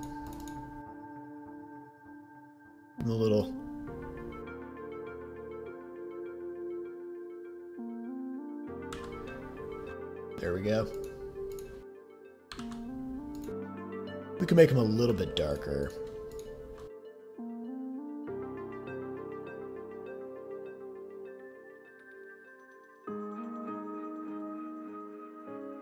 So we could have put some eyeshadow or something on there. This monster doesn't want to just go out gardening without some prep, you know?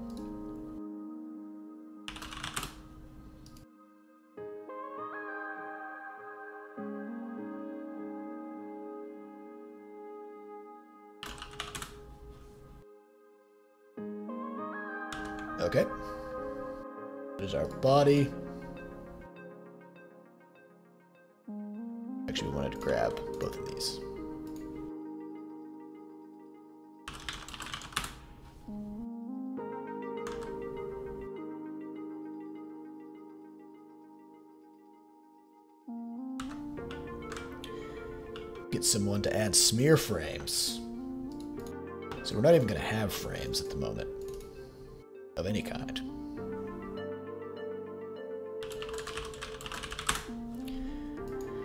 Alright, so technically we've only got 10 minutes. This might go over a little bit, getting this character animated.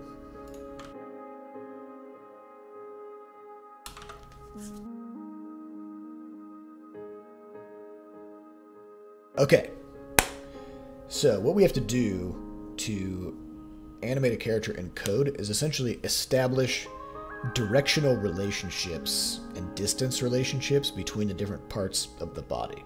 So we might say, oh, the hand is going to be this far away from the body at, you know, negative 10 degrees, and the head is going to be 90 degrees up, and it's going to be blah, blah, blah. So, so let's take a look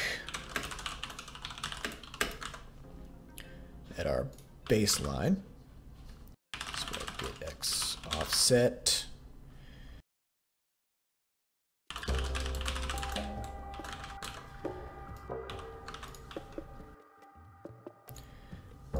Okay.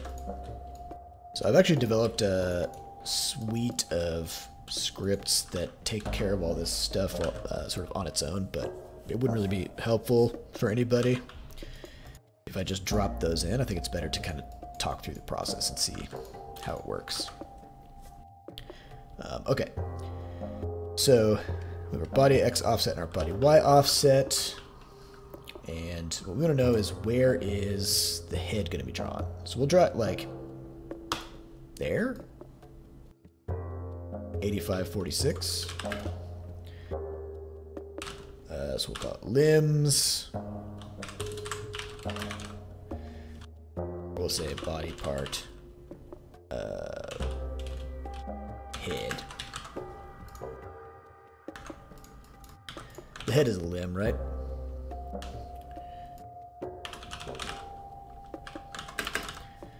So first we're going to just grab where it is drawn on the sprite, which is 8546.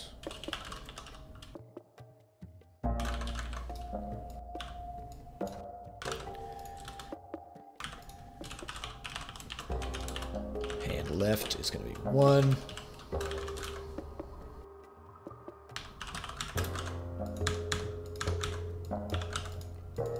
that's going to be the character's left hand, not our left. Just wants to tend to the tongue flowers. Is that so much to ask?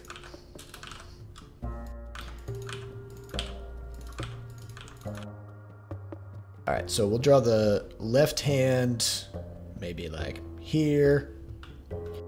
17, 79. the right hand will draw over here. 3179. Okay, and then we can just put our origin right back in the middle.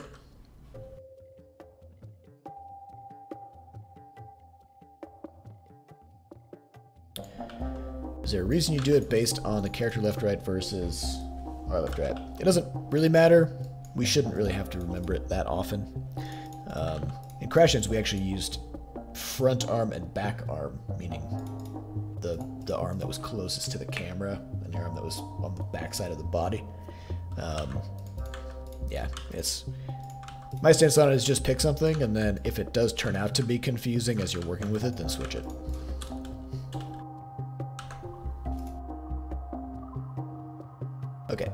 So we've got these positions, and now we can go back through and establish the directional relationships between these things.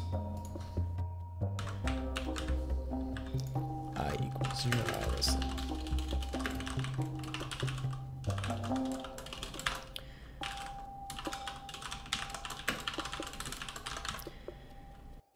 Alright, so we'll say limb distance is going to be point distance so we're going to grab the origin point that we currently set and then the point that we chose and see how far away they are and what direction they are from each other.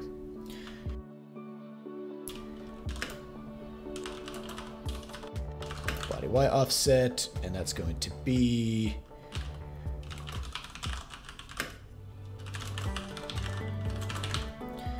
current X and Y of the limb that we are talking about. And then we'll do the same thing, but get limb direction.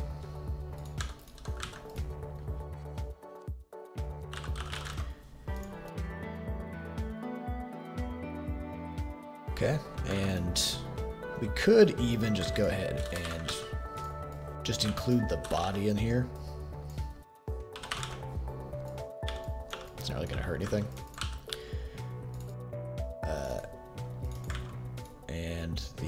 Body location is just going to be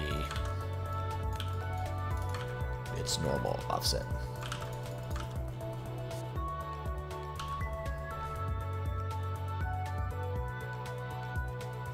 Okay, so we have our distance and our direction.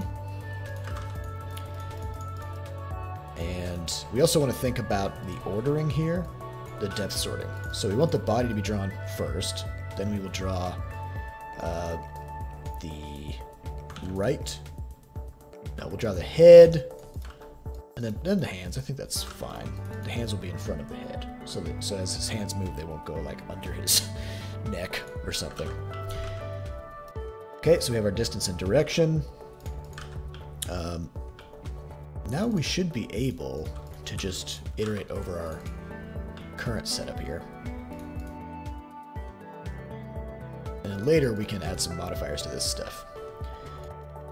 So, length 1D, limb direction.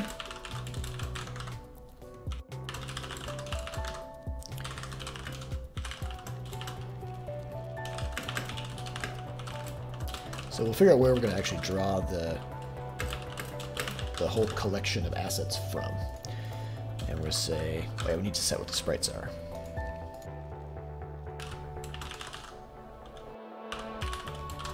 Body part, body.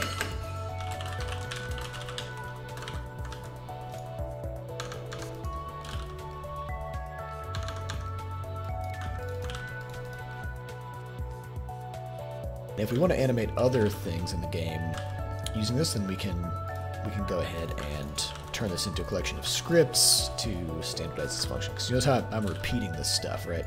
I'm copy paste, copy paste, all these different things that I'm doing.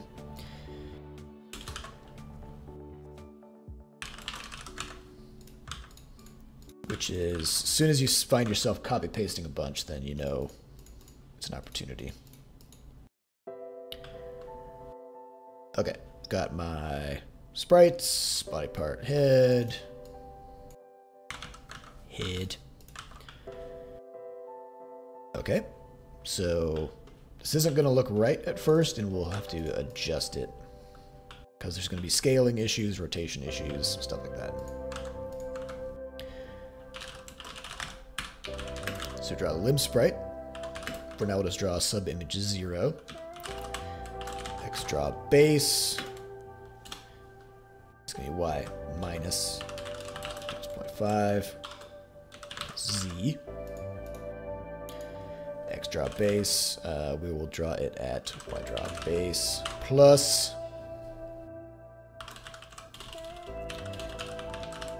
So this is where we get into our distance and direction.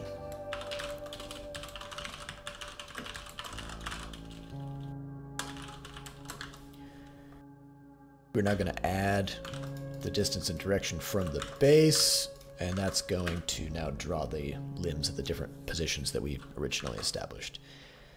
And for now, we'll just do scale of 1 for everything, rotation of 0, all that. Okay, so this is going to be a bit strange for now.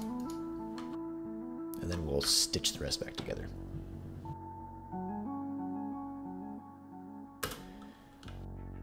Ew. Okay, so so positionally, we are generally in the right place. Uh, we have problems with is rotation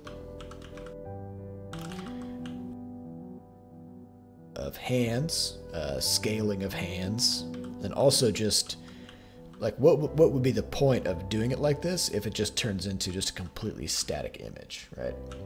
That's no good. So, um, so let's kind of go through and figure that stuff out.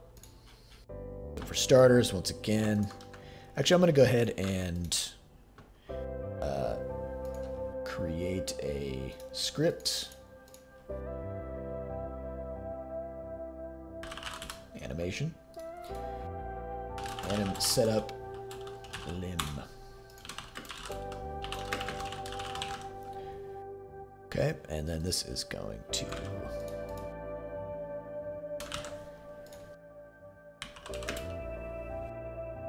var x origin, we'll say x offset.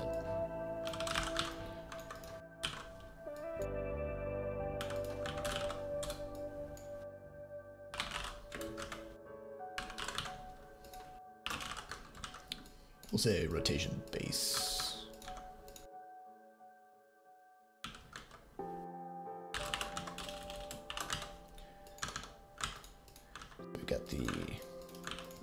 We've got the X offset, we've got the Y offset.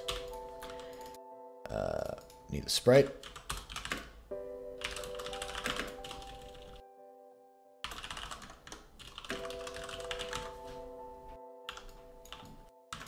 So I'm just taking what I was just doing and turning it into a convenience function so we don't have to keep pasting stuff over and over again. Sprite, uh, limb rotation base, limb x scale. That's going to be sprite, rotation, that.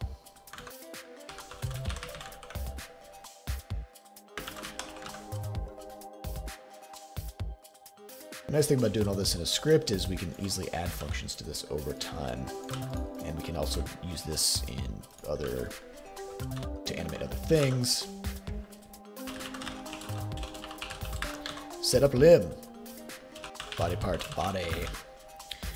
Uh, body X offset, body Y offset. Sprite is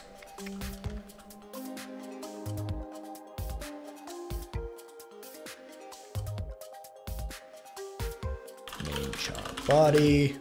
Rotation base is zero. X scale is one. Let's. All right. So get rid of that. Then we'll just steal this. The head is now 85, 46. Head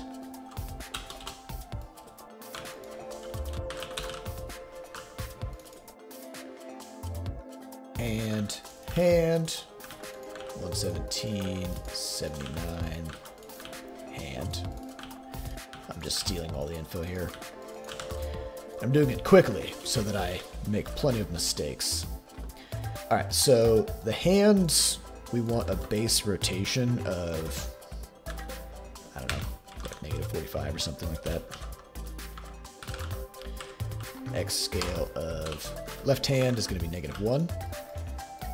Actually, it's the Y scale that we want.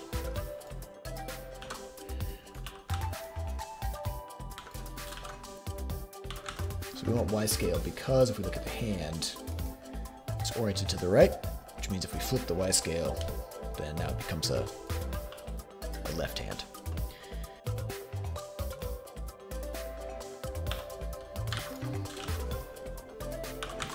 So setting up a, a, bunch of scripts to handle this for you is super nice because of the fact that this stuff gets pretty weird to think to, to think through. And if you've got a set of functions that just take care of stuff for you, then you don't have to think about it.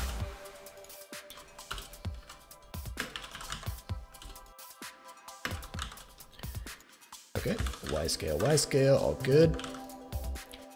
All right, so we have our limbs.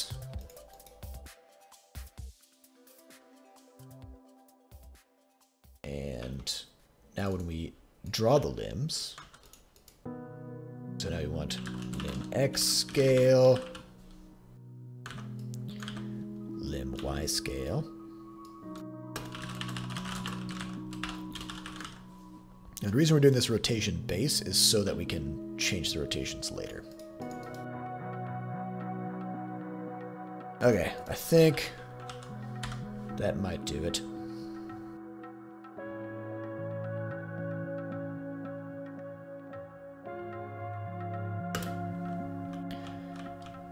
Okay, so he's got his left hand, but it's rotated in the wrong direction. so we're getting there though.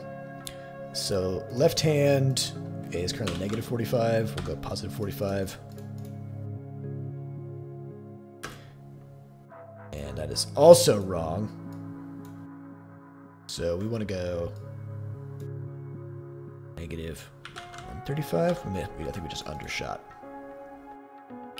So some of these, like once you're dealing with, with lots of scaling and rotation stuff, I think it's easy to uh, kind of get into a position where you're trying to do a lot of math to figure out the perfect way to do it. Sometimes it's fine to just plug in a number and if it doesn't work, just try the other number, you know?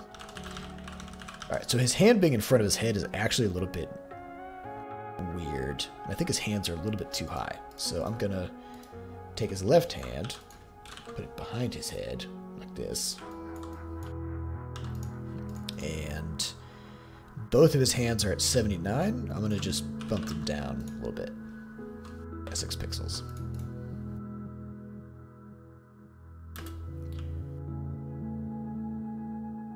Okay, so it's a little bit better. I think we could probably move his head to the left a little bit and up a little bit.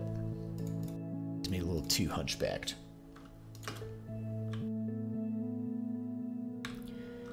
Okay, so we have we have our character. Um, I'm going to open it up in debug mode so you can see what else is going on here with the hitbox. So the, the height of the character is just wrong, and so is the width. Um, and that's why you can see how I'm kind of going down through my own shadow, like my feet aren't touching the ground. Uh, we're also missing our blinks, so... we set up our limbs. We want to...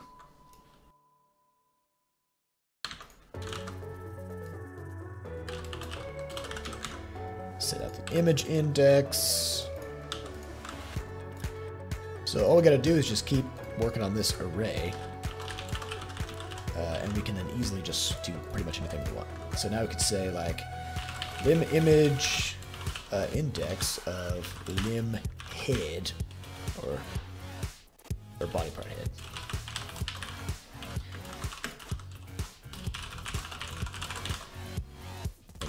Is blinking? Yeah. I think just is blinking, yeah. So I swapped out what image we're drawing there, and presumably that'll do it. Oh, right, we need to do an overlay because we actually replaced the whole thing. So now, what do we want to do?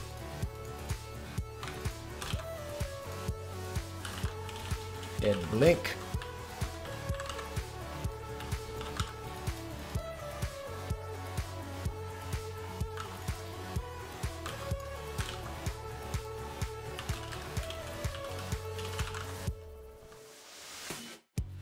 So we're just going to draw the, the head and the blink in the same location. And the head blink is subimage of 1.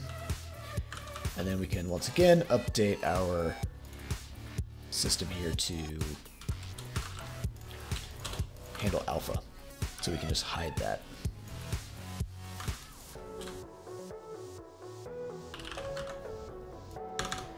So this is all just setup stuff so that we can more easily manipulate this stuff later. The last thing we're missing is color, which I'm sure will come up. Limb alpha.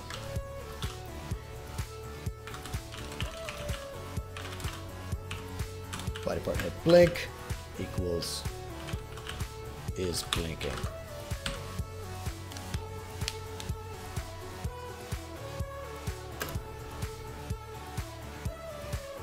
Okay. Blinking. That's all good. I'm gonna get the height moved so that character's height is more accurate. Take a look at this body. So I could just guess, or I could actually, you know, try to do it correctly. So we have, we're at 80 right now. The bottom of the character's feet is 137. So that means we are 57 away from the bottom it's a 114. So it's a little bit off. And...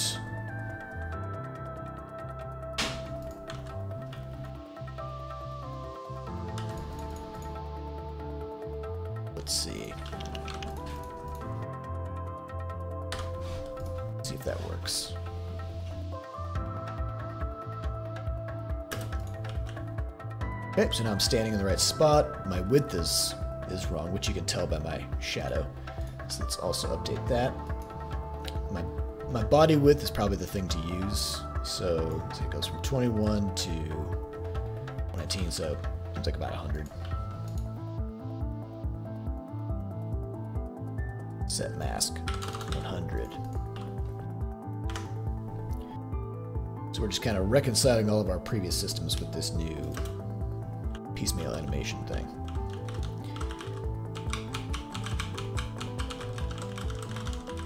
Alright, so we have that. It's good.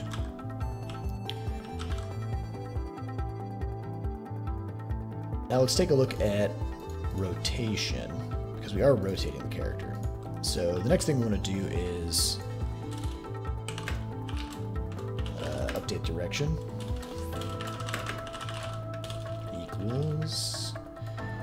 have the limbs uh, direction plus the rotation of the character.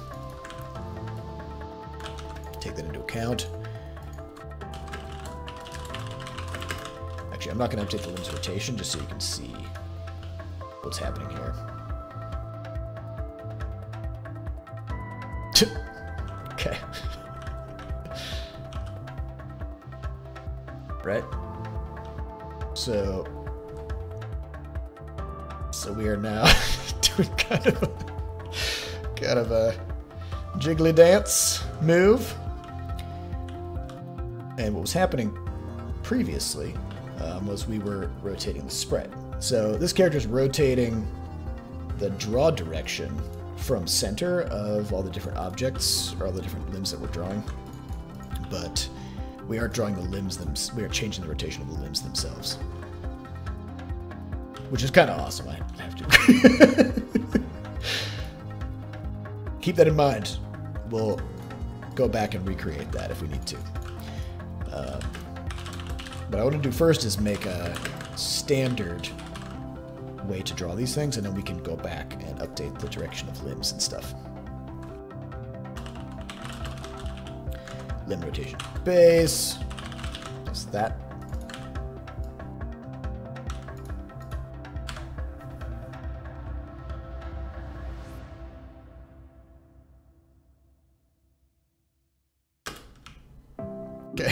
So now we've got sort of a South Park style animation going on here.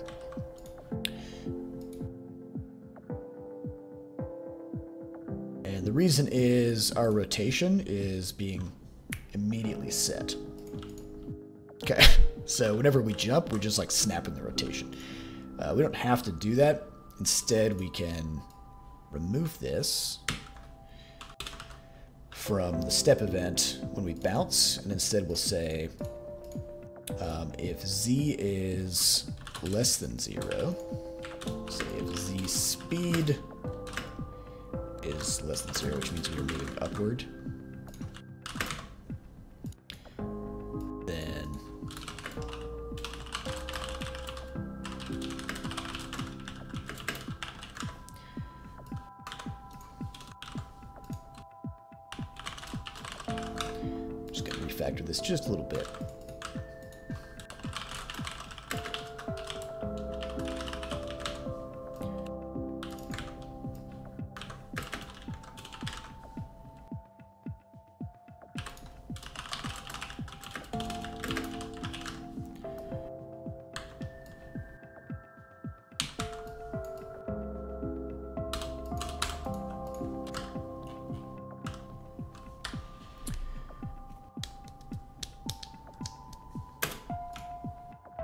this is much smoother. And once we actually get some animation frames where his legs are where his legs are uh, kicking around, then this will feel a lot better. It's also the case that the original rotation amounts were set based on um, based on the fact that the character was a little square, and this much taller character now just doesn't need as much rotation to make that work. Hold on, what's that?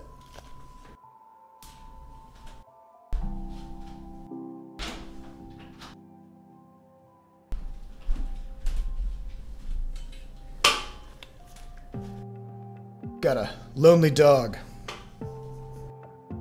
She just needed to be in the room.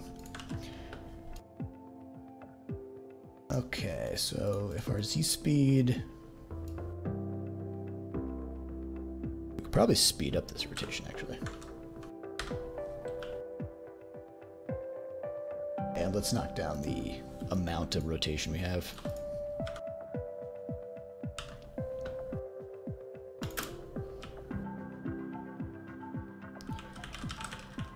Okay, so the last thing I want to do here is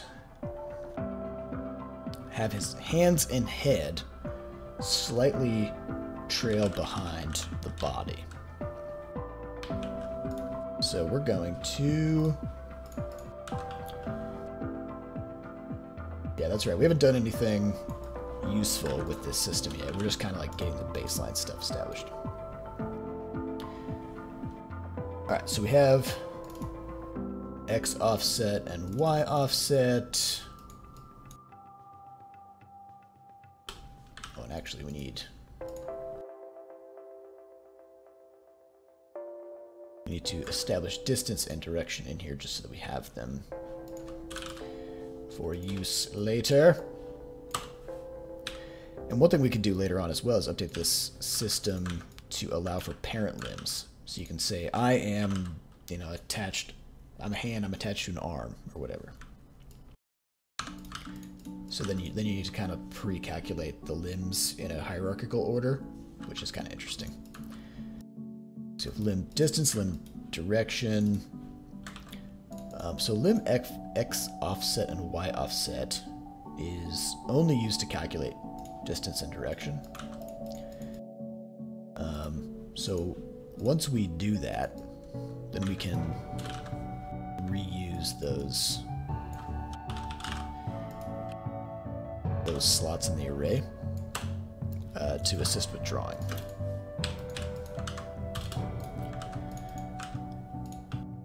Because now, now we know how far away they are from stuff. So we could, for example,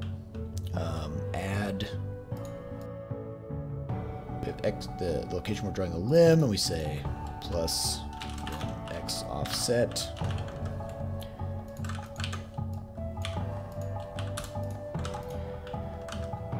Okay, so now we are we are adding some extra offset values that we can use. So if we wanted to, for example, we can now make him do kind of a like a weird sine wave with hands and head. We could say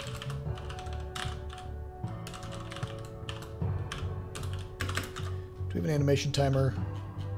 Don't think we do.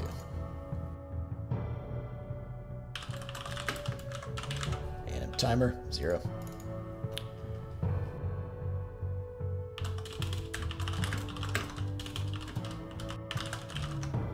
So sine waves are going to be your best friend when it comes to a lot of these animation techniques.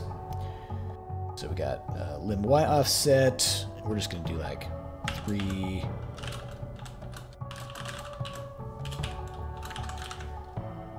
take the right hand and do the opposite. And then we can do some goofy crap with the head.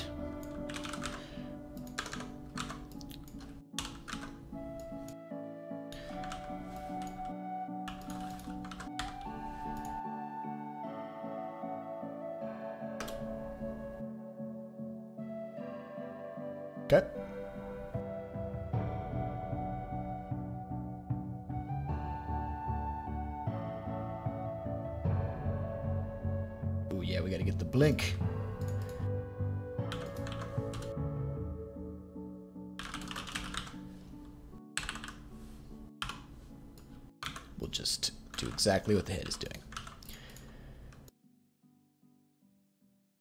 So I want a little bit more of that.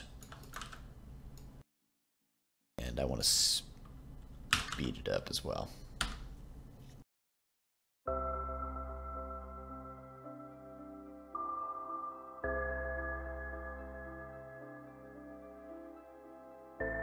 Okay, so now we've got... I, I still think it's too slow.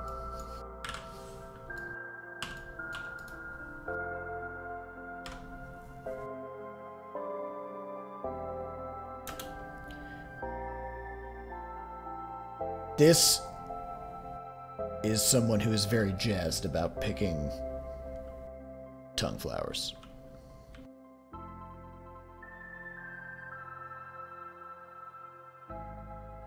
Yes. Gotta get that sideways head bob. And we could even add, you know. So right now we have this head X offset. If we wanted to, we could say, give the head a direction. And we could say, head direction is uh, 360 times anim timer. So then the head X offset becomes length dir X, head dist, head dir. And then the head Y offset. We can maybe cut that down.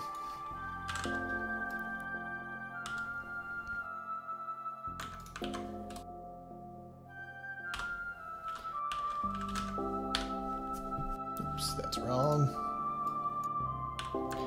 So what we're doing here is we are we're picking uh, some degrees, and then we are uh, using length functions to make the head kind of go around in a, in a circle. So what we can end up doing with these things is we could now, depending on what the player is doing, we can manipulate the positions and orientations of the limbs and, and what, what it is that they're doing. So essentially this is this is how Flux is created in Crashlands. The one difference being Flux also has legs, whereas this character has the legs built in. And then I want to last try to get, um, let's see. Let's do this. Uh, limb z lag. Or I'll just say limb z. All I'm going to do is, as the player's z changes, I'm going to have the limbs linear do linear interpolation toward the z of the player, but with a very small amount of lag behind it. Or actually pretty decent amount. Um, so then I can just say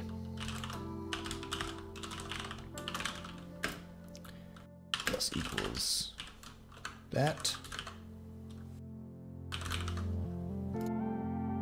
So we'll get the hands.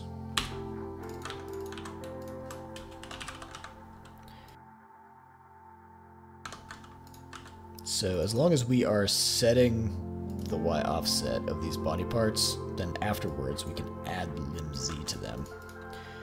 And that's going to...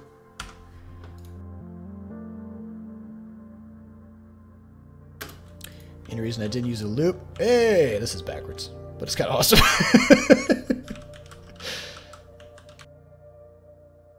what do you think?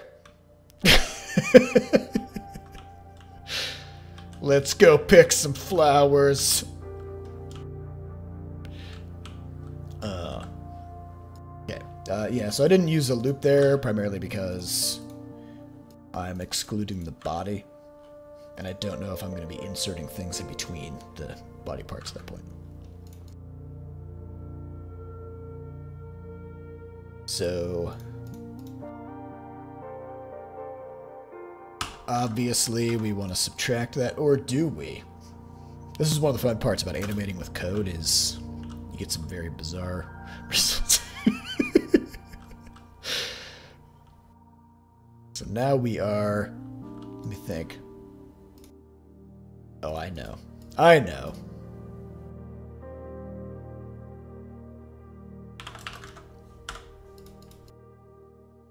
The issue is the body's already being moved by the Z amount. And then the limbs are being drawn relative to that. Okay. So, this is a little bit more complicated than what I had originally planned.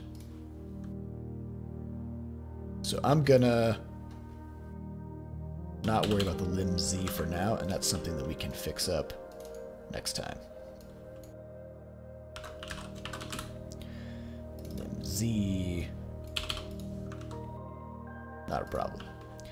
So we, we still need to X flip the character and uh, and take into account that sort of lag with the head and the hands. So that's something we'll have to take care of next time. So, all right. I think that's all the time we have. I'm going to have this video up available on YouTube. Push this out as well.